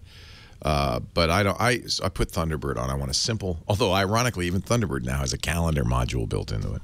yeah. Uh, I guess there's. No, you mean like uh, what are they going to call that now? Communicator? yeah. What are you kidding me? Boom, boom, boom, boom. What was the stand? They had a standalone calendar Communicator. one time. Remember? Uh, yeah, this No, is no, lightning. um, it's called lightning, but it. Uh, I know what you're talking about. Uh, something else, Yeah, uh, yeah, I can't remember the name of it. But yeah, I can't either. uh, anyway, so okay, so Sunrise standalone is dead. Not yet. Well, not- not yet. Gonna be dead. It's it's it's it's you know what? Remember when they came out with Acompli slash Outlook and they said, look, Right. we have all these other Outlook apps, Out, OA for whatever, and Outlook.com app, and we're going to get rid of those apps as the Outlook app incorporates all of their functionality. They're doing the same thing with Sunrise. Um, this, I guess, I, I'm just downloading it now, but uh, the iOS version already has some Sunrise elements to it, apparently, in the new update that came out It today. The Android app is getting them in November. But here's the really good news they're going to update Outlook on Windows phones as well. And that's something they've never talked about before because the big question here was there are some some elements that are similar, but the Outlook app on Android and iOS are the same app, and the one on Windows slash Windows Phone is completely different. And they both have their own merits and so forth. But it seems like when you have this one team doing them all, they should be the same as much as possible. And it looks like they're going to move in that direction. So I we'll see so. what that means. I think right. Uh, the blog post today was a little murky about that. They just said, "And we're Yes, going to update Outlook on Windows Phone," and it didn't say if you'd get any of the Sunrise Yeah. kind of functionality. No, it did not. didn't That's true. That's true. if it would be the same code base as the iOS and Android apps. It is the right same now, team, though. It is not. Same yeah, and team. it seems like they should. I'm just looking at the app. I, I don't. Honestly, this looks like the app already looked. I don't know what they changed, but Yeah. Uh, uh, okay. Well, we'll see. Yeah, today today they updated. They're starting to roll out the update for Outlook on iOS. Android is not till November, early November. Mhm. Windows Phone sometime in November is what they said. Well, actually, I think there was an uh, an Outlook mobile app update on Android today. It just didn't incorporate the Sunrise stuff. Right, Right. It has other Yeah. other changes. other things. Okay, I think so yeah. Sorry, it's okay, Leo. He's sobbing. Leo, just wait a year. It's all going to change again. Well, It will. yeah, the good the good You news know? is there are other uh, apps. What was the Mozilla Technology standalone Sun Sun? It was some. It was it was actually called Sun something. It wasn't Sunrise. Oh, It was called Sun something. It was a standalone calendar, same technology used in Firefox and Thunderbird. It wasn't Sunrise, was it? It's bugging me. I can't think. Of it. Yeah, it's before before Lightning. Lightning's the one that's in there now. Sunbird. Sunbird. Was there a sun? There was a songbird. yes, songbird. there was. Sunbird. No, Sunbird. S-U-N-B-I-R-D. I bet Sunbird's it, and that was a calendar, right? Yep. Isn't that funny? Okay, I I, binged I, that. used that. I for a binged while. it. Because there's and boom. Thunderbird and there's Songbird binged is their music thing. Thank you for bringing it back It to makes Microsoft. sense that the count. Yeah, she binged it. she binged it. That's I good. binged it. I'm I'm living with Bing, not happily, uh, but I'm living with Bing. Yeah. Oh, so you want to hear an interesting thing about my plane flight? And this was very odd, and I, I was curious why this happened. So I was using GoGo in flight, Surface Book. Um, I I have my default search engine set to Chrome.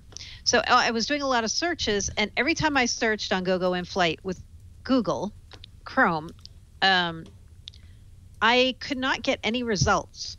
Like it would just keep going and going and never return a result. I switched to Bing and I was getting results like in less than a millisecond. And Why? whose fault is that? I'm, I don't know whose fault is that. I don't think it's Google's.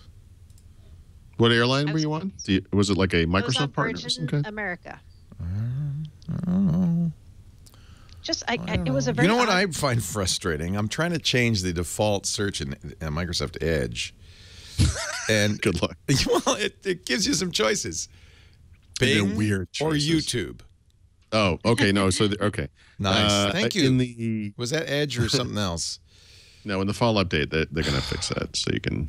They act like you can You can add change it. right? they act like you got a choice. Wait, let me let me look just just to make sure that I'm. Uh, is it? It's in advanced settings because who would want to change their search Yeah. provider? Uh, I, know, I can't even find it now. So, um, yeah, I think it was. I think it was an Edge, but I can't. But it was like what? Yeah. Yeah. Oh yeah, change search in the address bar with Bing. Change. Uh, choose one. Uh, Bing default. Sure. There's no other. That's it. Okay. So at least I had choice. YouTube on the. This is the uh, threshold uh, too. I used to have YouTube. Now I only have There were Bing. some there were some weird options in there before. Bing. Choose one: Bing or Bing. Yep. I guess I'll So I'll choose Bing. Maybe you'll go with Bing. it's nice that Microsoft doesn't have a monopoly anymore. huh? yeah, right. They can do stuff like that. I'm fine. I'm living with it. It's not horrible. It's uh, you know, it's a search engine. I was having I, I was enjoying the results that were Yeah. returned Yeah. in my searches. I was They were working. I feel like they, you know, they're hmm. probably very similar, right? They're not so much difference. I like some of the features that Google has added to search beyond search, you know. Yeah. But those are also probably uh, highly illegal, monopolistic Yes. things. I shouldn't enjoy those. So I'm just, You're I'm just referring to shopping results. yeah, you know, stuff like hmm. that. It looks like you're shopping for something on Amazon. Would you like to save three dollars? Well, interestingly, when you do uh, search for flights in uh, on Google, because they bought ITA, they will actually in the search results give you, you know, if you just do SFO to, you know, to uh, JFK, they'll give you all the flights and you click a link and it sends you the so- shopping and all that stuff. Yeah. Which is why I'm Do you surprised think you, have trouble people- with flight information on yours. Do people actually search for flights that way? Do you think? Um, yeah, that's kind of weird, isn't it? To Mm. kind of like just Google. I mean, it's like you know, when Google was Abraham JFK to- Lincoln born? What's the capital of Massachusetts? I'd like to book a flight to San Francisco. These don't seem like the same kinds of questions. Yeah. They'd like you to do that more often. Yeah. Yeah. Um, okay, so if I go to google.com, all right, they're saying in the chat room, oh, well, the problem is you're not on google.com. Go to google.com. And now, thank you. And now, and now, if I go to settings, advanced, search. That's obvious. And now it gives me, now it does. Oh, it discovered. Oh, it discovered Google. Congratulations, Edge. You found Google. So yes, you can do that. Uh, this is uh, this is awesome. Thank you. What a tip. So if you're on the Google page, it'll it'll then discover it, and I could set that as That's, default. that is funny. That makes sense. So now if I went to DuckDuckGo, I presume the same thing had happened, right? Let's see. And once it discovers it, does it remember it, or do you have to go back to have it discover? Whoa, what's going on now? I'm getting a video. Whoa, stop it. It really wants you to do this. It's saying, come on, you want to annotate, don't you? Not really. I'm just using the internet right now. Thank you. Oh, no, it remembers it, and you can Oh, search from that homepage. forget it. I don't know what's going on. Google, uh, when you do this, would really like you to go to get Google Chrome. By the way, they oh up their own yeah, little- they're all. Everybody's doing it. Apple does the same thing with Safari. Sure, you don't want to use Safari. Safari. Oh yeah, see, so it does remember that Google was there, and now it's giving me DuckDuckGo, so I could have that too. Okay, that's a good tip. Thank you, chat room. That that actually is a good tip because that's not obvious at all. How would you know? That's Right. amazing. Yeah. It- uh, discover. Oh, look. Look what I found. There's this thing called Google. Wow. And I only had to go to settings, advanced settings to find it. While on that exact page. wow. Yeah. I, I can't. You thought the Microsoft antitrust trial was funny as it was. Imagine this little conversation. We think this is discoverable. So cloud and engineering also a little bit reorganized. Yeah, a little reorg there too this this past week. Um, nothing too major. They combined some of their uh, data analytics teams with the SQL Server teams, which makes a lot of sense. Put all your database related stuff together. Windows Server sitting inside with cloud now. So Bill Laing, a longtime Microsoft uh, Windows Server guy, is now reporting to Jason Zander. Yeah, a lot of a lot of things like that, kind of tweaks and adjustments. Uh, but very interesting that all this enterprise software that Microsoft has, they're now sitting in the same teams with their cloud uh, equivalents. So, yet more cloud washing. Mmm. Cloud, Cloud washing. washing. Cloud washing. I think you've and coined oh, a um, term. What does that mean? no, I'm just I'm just using that term it, to mean the cloud the cloud team is taking over all pretty much. And you know, Microsoft knows that a lot of people will continue to use enterprise software, especially in hybrid kind of configurations going forward. But as we always say, everything's cloud first with those guys now, and even even down to the organization of of how their various teams are structured. I'm a cloud watcher. I'm a mm-hmm. cloud watcher. Watching the cloud walk by. It's like a Kate Bush song. It does sound like it. Oh, and Julia White, who I think Paul knows fairly well. Yep. Uh, Yeah. She's. I know she She- moved along. Julia White was, uh, if you ever saw all these Microsoft shows this year where there was a woman on stage um, who did these amazing demos around Office 365 and a lot Oh of yeah, enterprise. she was good. I liked her. She's really Short good. red She hair, has love yeah, the yeah, jacket. Yeah, yeah, yeah. I remember her. now now. moved from um, Office to cloud also. So she's going to be working now uh, more around Azure and things like Right. that. So, And she is now thus dead to me. No, I'm just kidding. come No, she- I have no she's interest. awesome. I'm- come on. None I'm at kidding. all. No, she's she's great. Yeah. So, uh, you know, after all these re- mini reorgs this week, my question is: so what happened in Windows and devices? We know Joe B is taking a sabbatical. I know. Or sad. he's he's going to sail around the world for a while. But um, we don't really know what else happened in Windows and devices. So if anyone listening knows, we, we always have our ears open for tips about what's going on over there. If there was any reorging or new people Right. in power we should know about. Do you think uh, Joe B's decision to go at this time was related I don't know. to The Reorg timing was right around the interesting? same time. Yeah. Hmm. I guess there's no good time for a reorg. right. You know, right? I mean, there's no appropriate. I mean, you know, Windows 10 to ship that was a big deal. You know, that would Yep. make sense for Joe. I get it. Uh,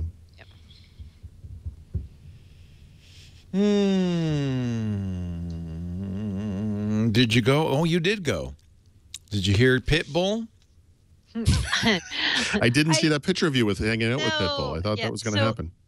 This week, the Microsoft store in New York City opened for business. And yes, I did go. They gave me um, the week before a chance to go see it before any people were in there, a private tour. And then um, I went to the actual opening, which was a madhouse, complete madhouse. The Pitbull was the concert ticket they were giving away, and they told me if I wanted to come back later that night and go to Rockefeller Center, that the, I could go meet Pitbull myself. When you didn't?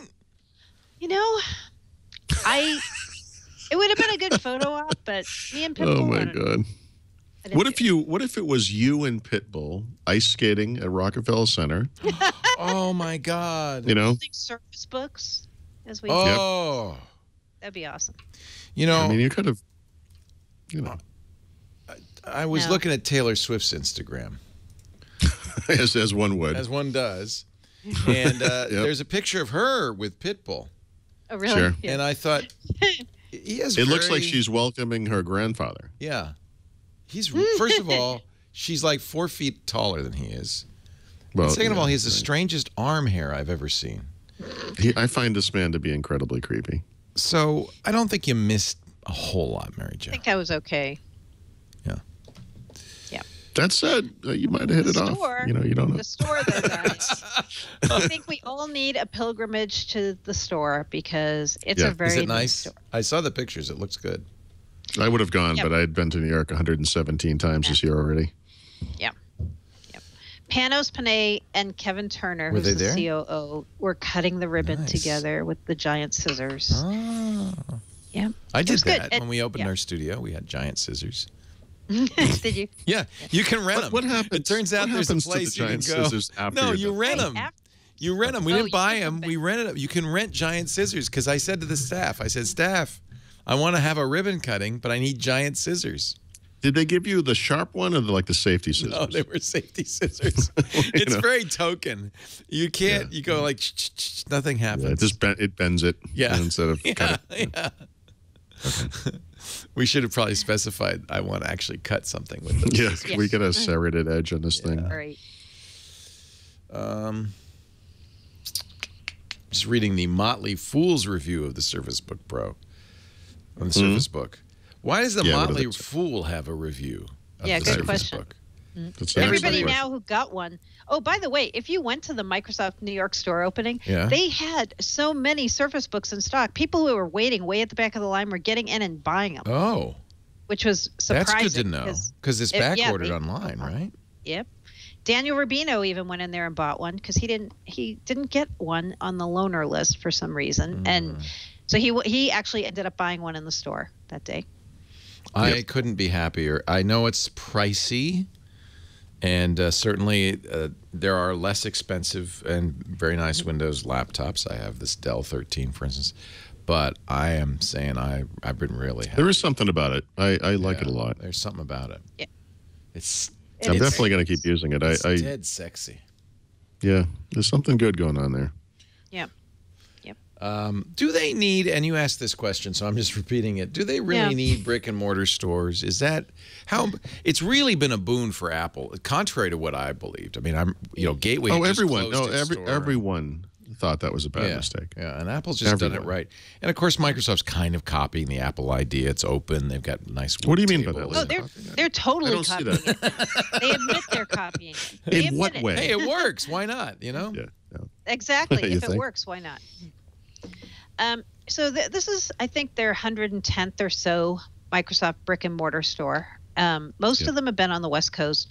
And I have people asking me all the time, like, why do you even need a Microsoft store? And I'll tell you, in New York, you do need one in Manhattan because where do you go to try to look Right. at PCs Right. um, side by side if you want to buy one? And they do have other PCs besides Microsoft's own models in there. Um, and so for me, that's going to be fantastic. Um, Spend not five just- minutes in the post-apocalyptic nightmare scape that is a Best Buy Right. PC Best section, Buy. and you know Best Buy why in New York. you need I, Microsoft you know, stores. I know. I know in other places Best Buys are not the, a scary place, but in New York City they are. the, at least the Microsoft store within a store there Yeah. are, kind of scary. Uh, so I think it's going to be fantastic. I can bring my laptop, any laptop, not just Microsoft, to the store, have them you know help me out with problems for free at the answer desk. They have a big community space in there which i really like. They're going to have kids after school programs and other kind of community groups meeting up in there. And i i just think it's going to be a, a good place for people. Are they going to make a ton of money there? I i doubt it um, they're on fifth avenue in really pricey real estate they're like three Yeah. or four blocks away from the apple store on fifth avenue um, I don't know. Even if they don't make money, I think it could still be seen as a loss leader, or Oh, I'm sure. uh, yeah. you can make a Yeah, case. it- for it's a why- prestige It's uh, marketing. location, it go- yeah. comes out of the marketing budget. It doesn't. Does. What I'd like to see is a meaning of lifestyle thing where they're firing cannons across at each other, grappling hooks. that would be funny. they sell other stuff besides Microsoft hardware, right? You, you can see They other do. laptops there. So Yep. Yep. yeah, it's Yeah, it's, in fact, Well, the Mi- third Microsoft has enough of their own hardware now that you could almost make the case. Just a big section for, of that would be great. Yep. You know, there's enough The of it. Whole, the whole third floor of the store is a Dell store within the Microsoft store, Whoa. which is Right. interesting. And guess who's helping pay the rent on Fifth Avenue yeah. now? Well, there you Right. go.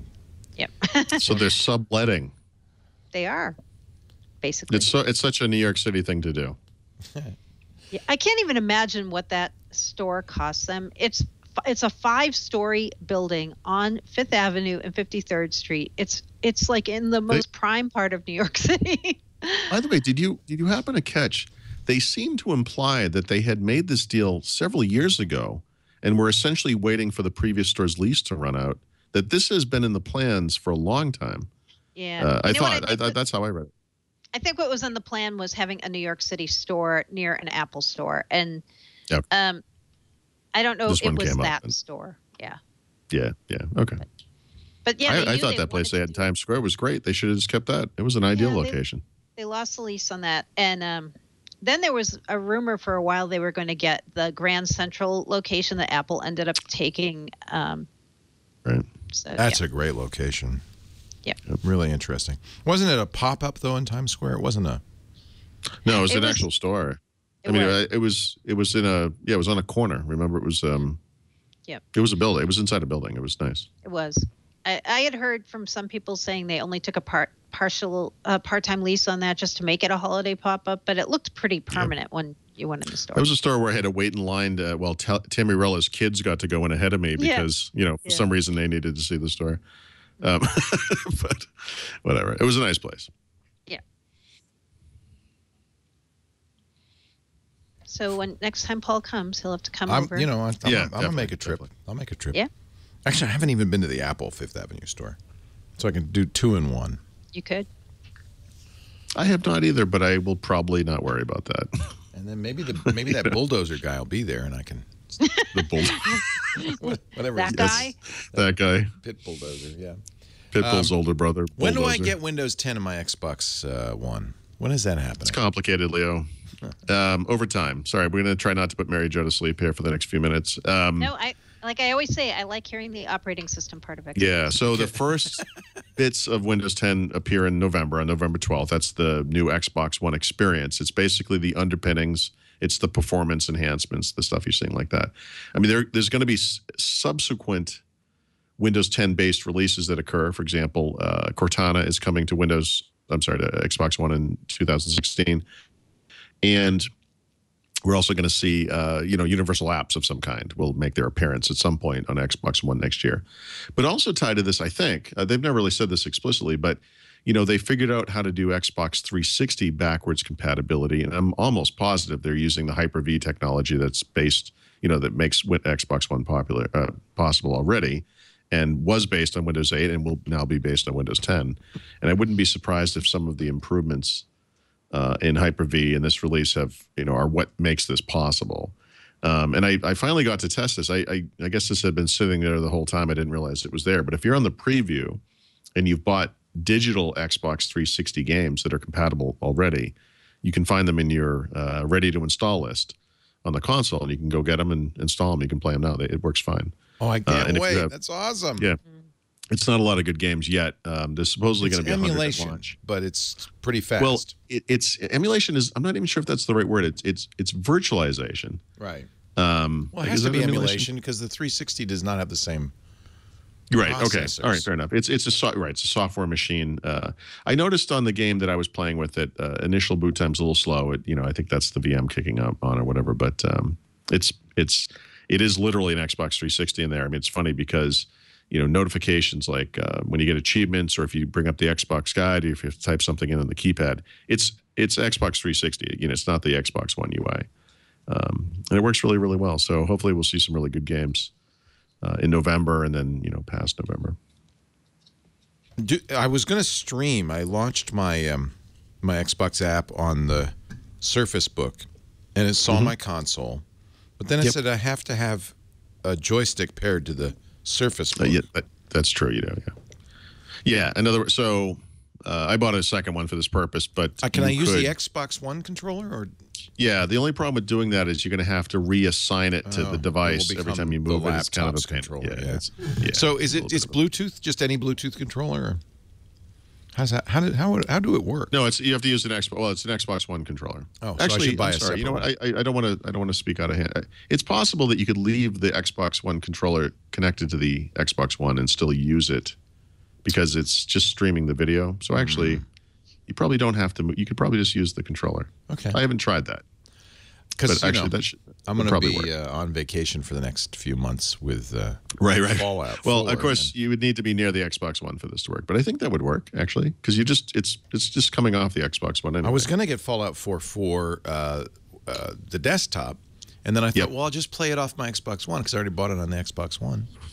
yeah. There you yeah, go. be fun. Yep. I'm excited. Uh, Halo 5, have you played that? That came out yesterday. Is that Just started, yeah. I Kristen and I have to go to Vegas. I can't play it, so I, I- we, you know, for me, uh, Halo dropped by the wayside because of Call of Duty, and um, the first few Halo games, Halo, Halo Two, and Halo Three, and actually ODST, I played the I played those single player campaigns. I mean, several times each, you know, on different skill levels, and going back to find things I missed, and I really, really liked those games. And then I don't I kind of got lost in Halo. And I think part of it was just, uh, you know, how good the Call of Duty games were. But uh, this game, I have to say, is is super impressive, um, single player and multiplayer. And I really feel like they've learned a lot from rival games that did some things better. Um, it's it's just so tight and so well done. It's beautiful. It sounds great. The music is awesome. It's really good. And so there's no there's no doubt I'm going to go back and go through this. And I Halo 4 I basically skipped out on. I, I kind of booted it up. I played around for a few minutes and it just didn't do anything for me. But this is just a level of crispness, a crispness that hasn't been around in a while. So it looks awesome to me. Yeah, see, I passed on it because I bought that whole Super Halo kit of, with all Yeah, the yeah. versions. Yeah. And I played it for a little bit and it got me nauseous, and I thought, ah, I don't want to do this anymore. sure. and I'm getting Fallout 4. Yep. But yep. so I'm not sure, but now I, you're not the only one. A lot of people are saying, "Hey, this is the best Halo in a long time." W- This One is- of the neat things that's happening on the Xbox One, I don't really have this on the note in the notes, but it's related to the Xbox 360 compatibility. Is that some games and and third party developers can do this as they wish. You buy an Xbox One game and they can give you the Xbox 360 version because it's compatible now on the Xbox One. You kind of get it for free. So, for example, if you bought uh, Fallout 4 on Xbox One, which I think you said you did, you also get Fallout 3 for Xbox 360, which will work on your Xbox One. oh, oh, Yeah. So like uh, I know Gears of War is like this. The uh, new version for the Xbox One, you get all of the Xbox 360 games. I think there were four or five of them. There might have been five, four or five. I, saw a tweet and I didn't understand because I looked and I looked and it Yeah. didn't say that. Yeah. There's a few All right, others I I can't get remember. it. Oh, Rainbow Okay. Six is another one. Um, Ah. Rainbow Six Siege, I think, is the new game. And when you buy that, you get the old. I think there's two of them uh, Xbox 360 games. By the way, those are awesome games. Um, so if you like Rainbow Six, there's like three great games for sixty Yeah. bucks. It's kind of an amazing deal. So um, that's some neat stuff, and so that's kind of a perk of the 360 compatibility, you know, functionality. Actually, while I'm on the topic, I should say there's another perk, which is, you know, I talk about this uh, deal, uh, uh, games for gold thing that they have, and Oh, every month they give away at least two games, right, for each console. Um, going forward, starting with November, every Xbox 360 game will be backwards compatible on the Xbox One. And so if you have an Xbox One, you're actually going to get four free games every month now, uh, and they'll all work on the Xbox One. So this is all coming on the 11th. And the 12th. 12th. Sorry, yeah. 12th. Um, great. And I'm on the, weeks. I think I'm still on the beta. Will I get it a little sooner or should I have got it already? Yeah, actually, you have most of this now. Um, what's not here? I mean, there should be some slate of Xbox 360 games that po- pops up that we haven't seen yet. Um, there's some pretty, there's some okay ones in there, but there's not many. Like Borderlands 2 is in there, and I think Gears of War is in there. Um, yeah, I think you should you, you should have most of it already. Actually, Oh. I think.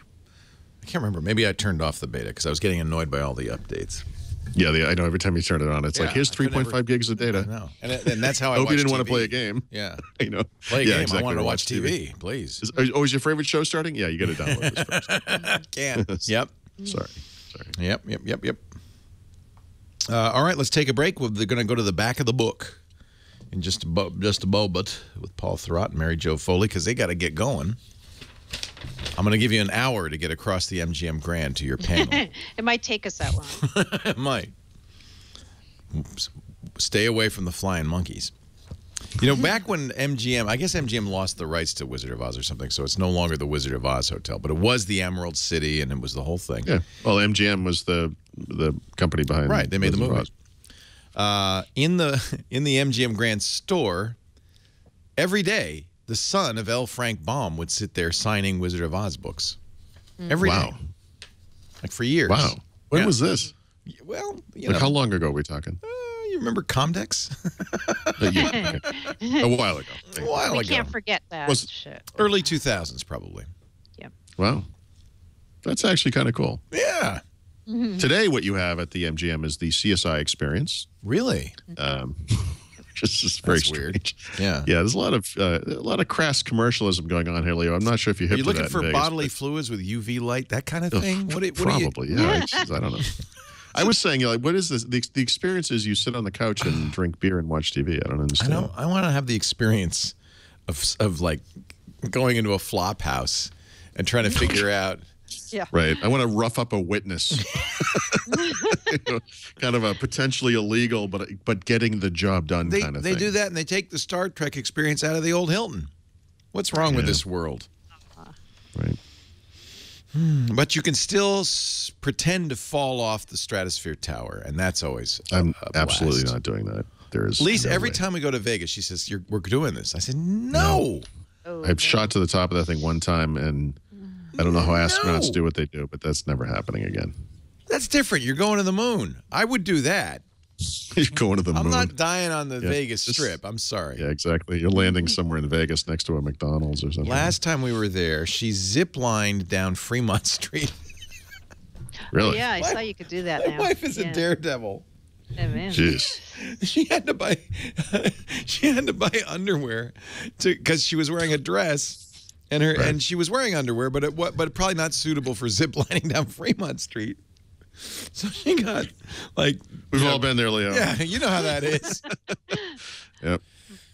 Uh, she still has That's it. It says. Vegas on the butt.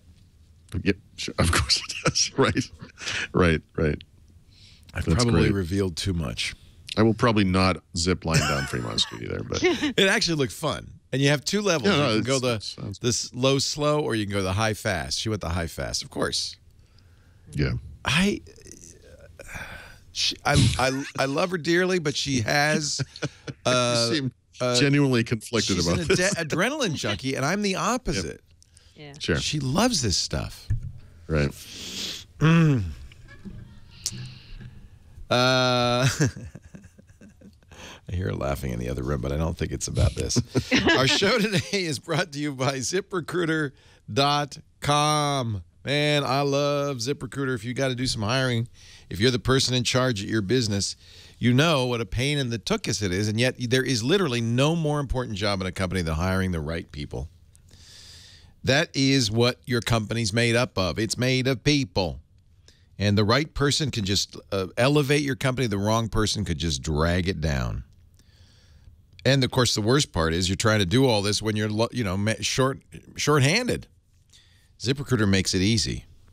You don't have to post to a single job board. You post to all the job boards, 100 plus boards with one click of the mouse. You'll also get access to the nearly 6 million current resumes. You're going to be posting on all the social networks, Craigslist and Twitter and uh, Facebook too. I mean, you're really, you're putting the word out, which gives you a much higher probability of finding the right one.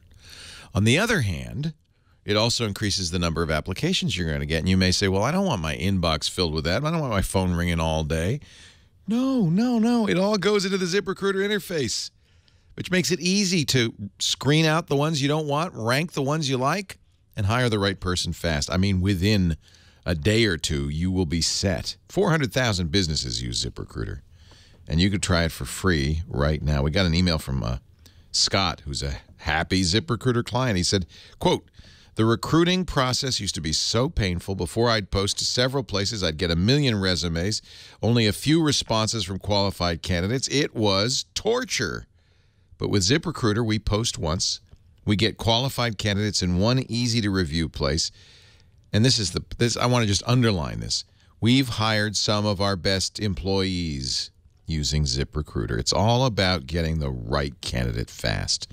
Go to ziprecruiter.com slash windows, ziprecruiter.com slash windows. Look at the, they're adding features all the time, too. Look at this. Post and hire the right candidate. Then they'll back you up with the offer letter and the HR docs, and you can even enroll them in benefits. This is all in one click.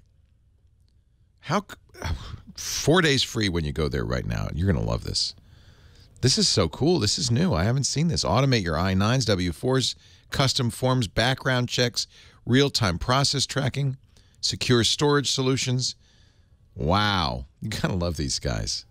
Z they're really knocking it out of the park. ZipRecruiter.com slash windows.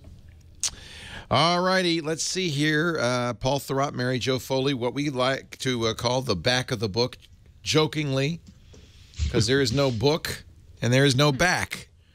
But it is the part of the ironic. show it is ironic. it's a harken back to the days when you used to get your computer information on dead trees. Yeah. Yep. Now you get them on dead bits. By the way, uh, you probably uh, were aware of the fact that Google is adding podcasts to Google Play. It'll be I did on see that. Android devices. Yeah. I'm you very intrigued to see how they do this. Are already in. Nice. Oh, so you knew about this. Uh, yeah, I couldn't talk about it. We were under an Yep. undisclosure. I, I, in fact, I didn't even know all about it because because I didn't want to sign the NDA. But I heard hints, and I had to help them uh, set this up a, I- a few weeks ago. But I've we been were asking about there. this forever. Like, I, I don't understand how Android for so long has not had a podcast solution Well, there's built third, into the OS. third party solutions, but Oh, this of course, is a much but I mean, better way to do it. Yeah. And the guy neat. who did Songza is in charge of this, and so they're going to have Mm-hmm. like, you want to be uplifted, you want to learn about technology. You know, they're going to have different playlists, and uh, and yeah, we're one of. The, in fact, if you look at the announcement, we're the number one uh, network on there. So uh, yeah, we're Nice. absolutely we're all set already. You're in. You don't have Yep. to do anything. Good. Um, however, now I want to get your tip of the week, Mr. Paul Thurrott, and I need this one. this one will be quick because I've been giving giving away half of them during the course of the show. But um, since the Surface Book has come out, I've been writing a Surface Book tip each day, and I'm going to, you know, collect these into like a little complete guide to Surface Book at some point. But if you go to the Surface page on uh, Thurrott.com, you'll see all the tips I've written so far, and I, I'll have another one today and tomorrow, and we'll do this for a few weeks until I've I shall be exhausted. reading all of these. In fact, that's you already knew that I would be able to run my 4K monitor out of the mini display port. Now Yeah. I have a connector that goes. The uh, the computer has the old fashioned display port, but I have a mini to full size display. I mean the monitor I'm going to use that that'll work. Yeah, all the adapters work fine. Whatever Yeah. you have, it will Yeah. go to you know HDMI, Yeah. VGA, whatever you got. Yep. And will it give me 60 frames? I know it'll give me 4K. That I don't know. I oh, yeah. oh, and I got the dock. I'm so excited. I love the dock. The dock. It's like the simplest thing in the world. It's so great. You know. So uh, everybody needs to go to Thurrott.com, and uh, if you get a new Surface Book, that's those those tips will all be compiled there. Which means Paul's probably writing a book. Let's face it. Yeah, this Are might be a new kind of book. You know how it is. You know how it is with Paul.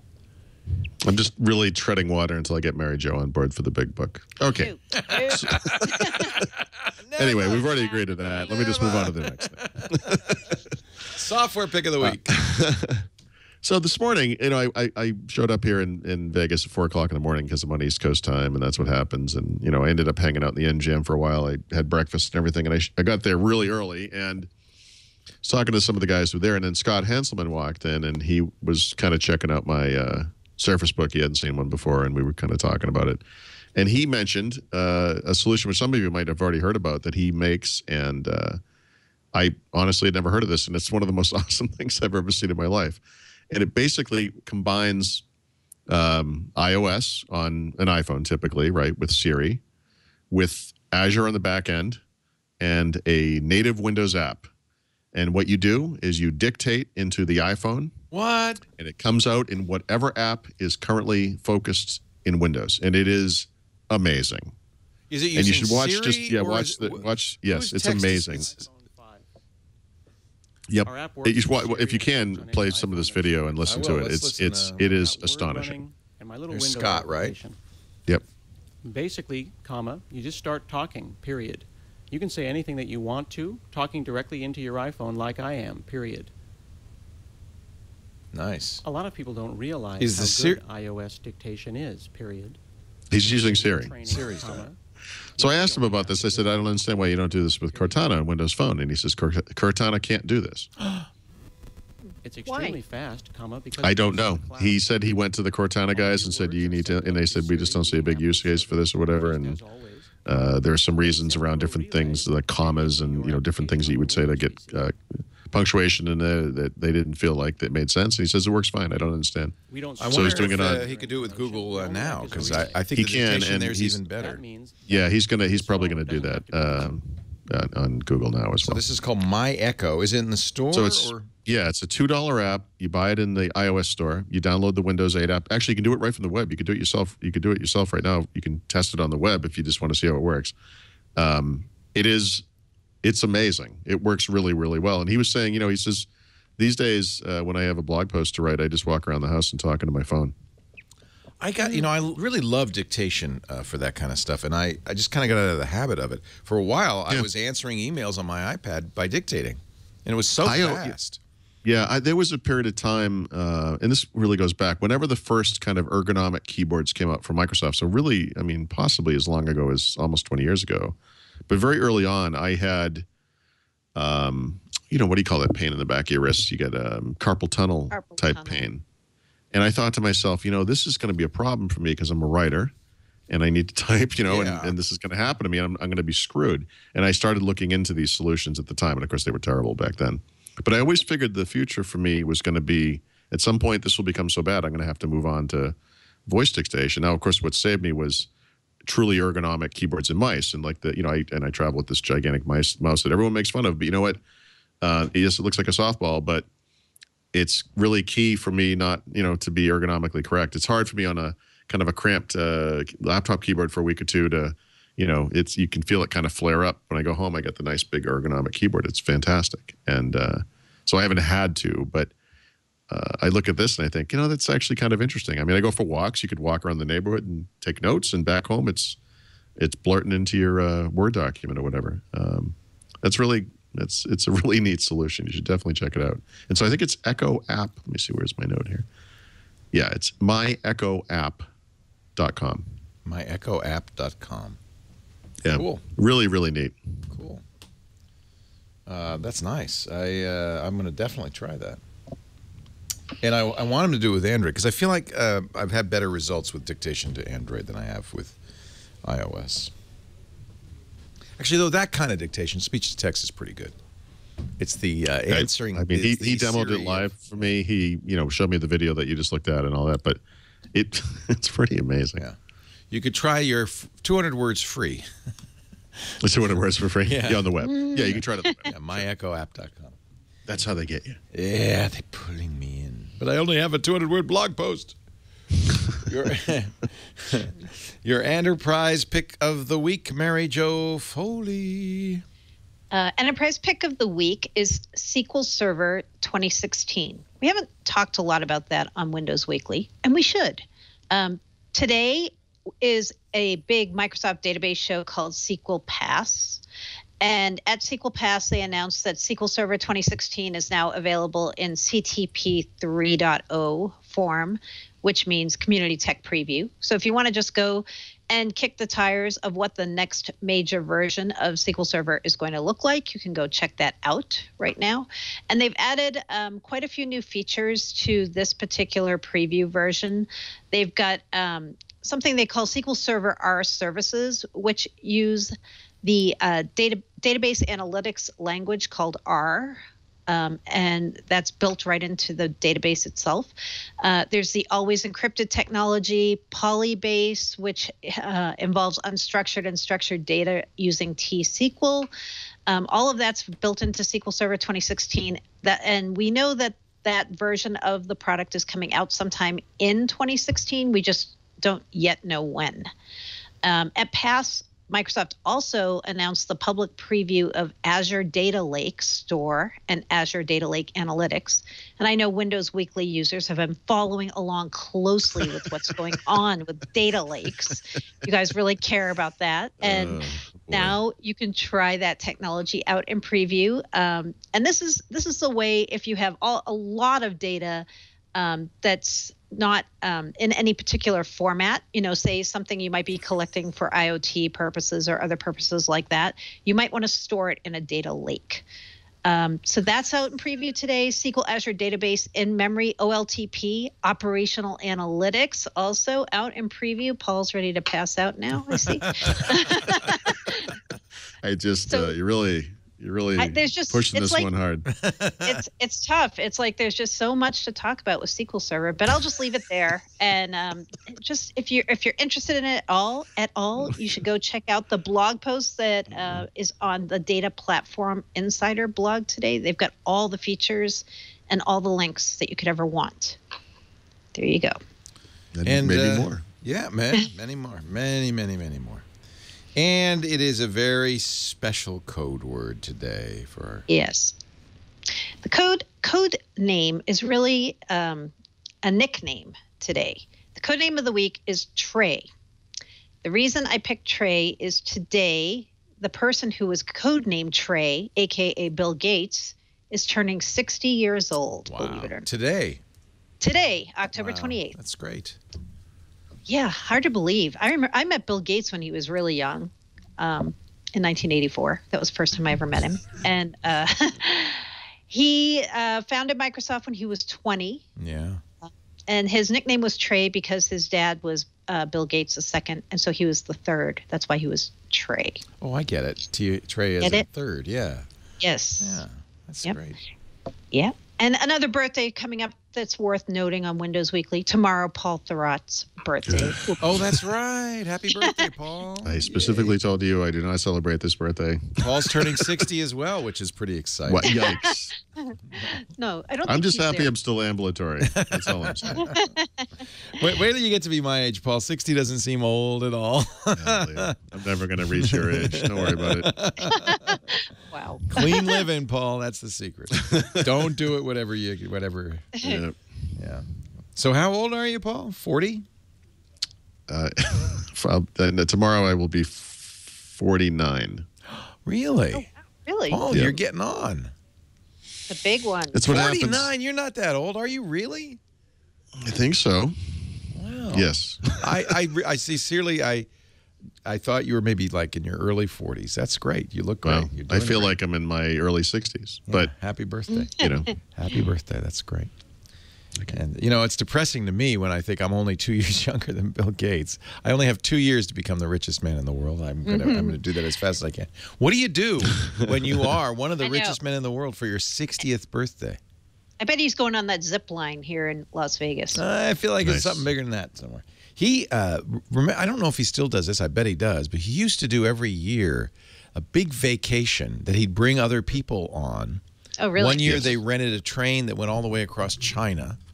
Oh, wow. And uh, I know because a friend was invited once, and you're required, if you're invited on this trip, to have a presentation. It's kind of like a rolling TED.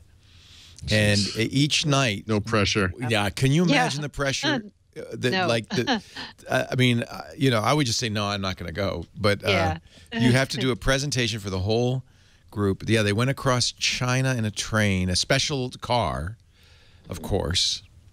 Um, Sure. Some of the other things, I mean, amazing uh, vacations, which of course they don't really talk about. You probably Mm. knew about it, but no, I, I've never even heard of this stuff. so- really, oh yeah, Nope. yeah, quite, um, quite the deal. Maybe it's secret. Maybe I didn't. Maybe I wasn't supposed to reveal that. No, I, I, Shakespeare, been I'm being told now, Shakespeare died at 54, so I've already Wow. missed the genius playwright window. But Paul, it's not too late for you. I know. I cross my fingers. get, get it, get it writing. Uh, yeah, I imagine they'll have a massive party, but he's really not a public figure anymore. So No, uh, not really. He's he's like the you know he dresses up like Mister Rogers, plays a game of checkers with his wife, and retires with a with an with an actual cup of tea. You know, He was for a while. He would go on these uh, learning vacations too. You knew about these. Yeah. One one Yeah, year he yeah. brought. Oh, yeah. uh, the Richard Feynman's Red, Red Book lectures, the, some of the most uh, advanced physics lectures. Out these there. days he would just cart the guy in and make him give him a lecture on a train in China. I think it was, was he would go with was it Esther Dyson? Who would he go with? He would go with oh, no, he went no, with was his Ann- old it was- girlfriend. his old girlfriend. It was Anne. Yeah. uh, Annie That's I think you're on track. Winblad. Anne Winblad. Wimblad. Yep. Yep. Uh, right. and Yep. even after he was married to Melinda, he, he and Anne Winblad would go off on these Yeah. uh, on the intellectual Yep. vacations. nothing weird about that. You know, the rich are not okay. like you and me. No, That's for not. sure. They live in a different world entirely.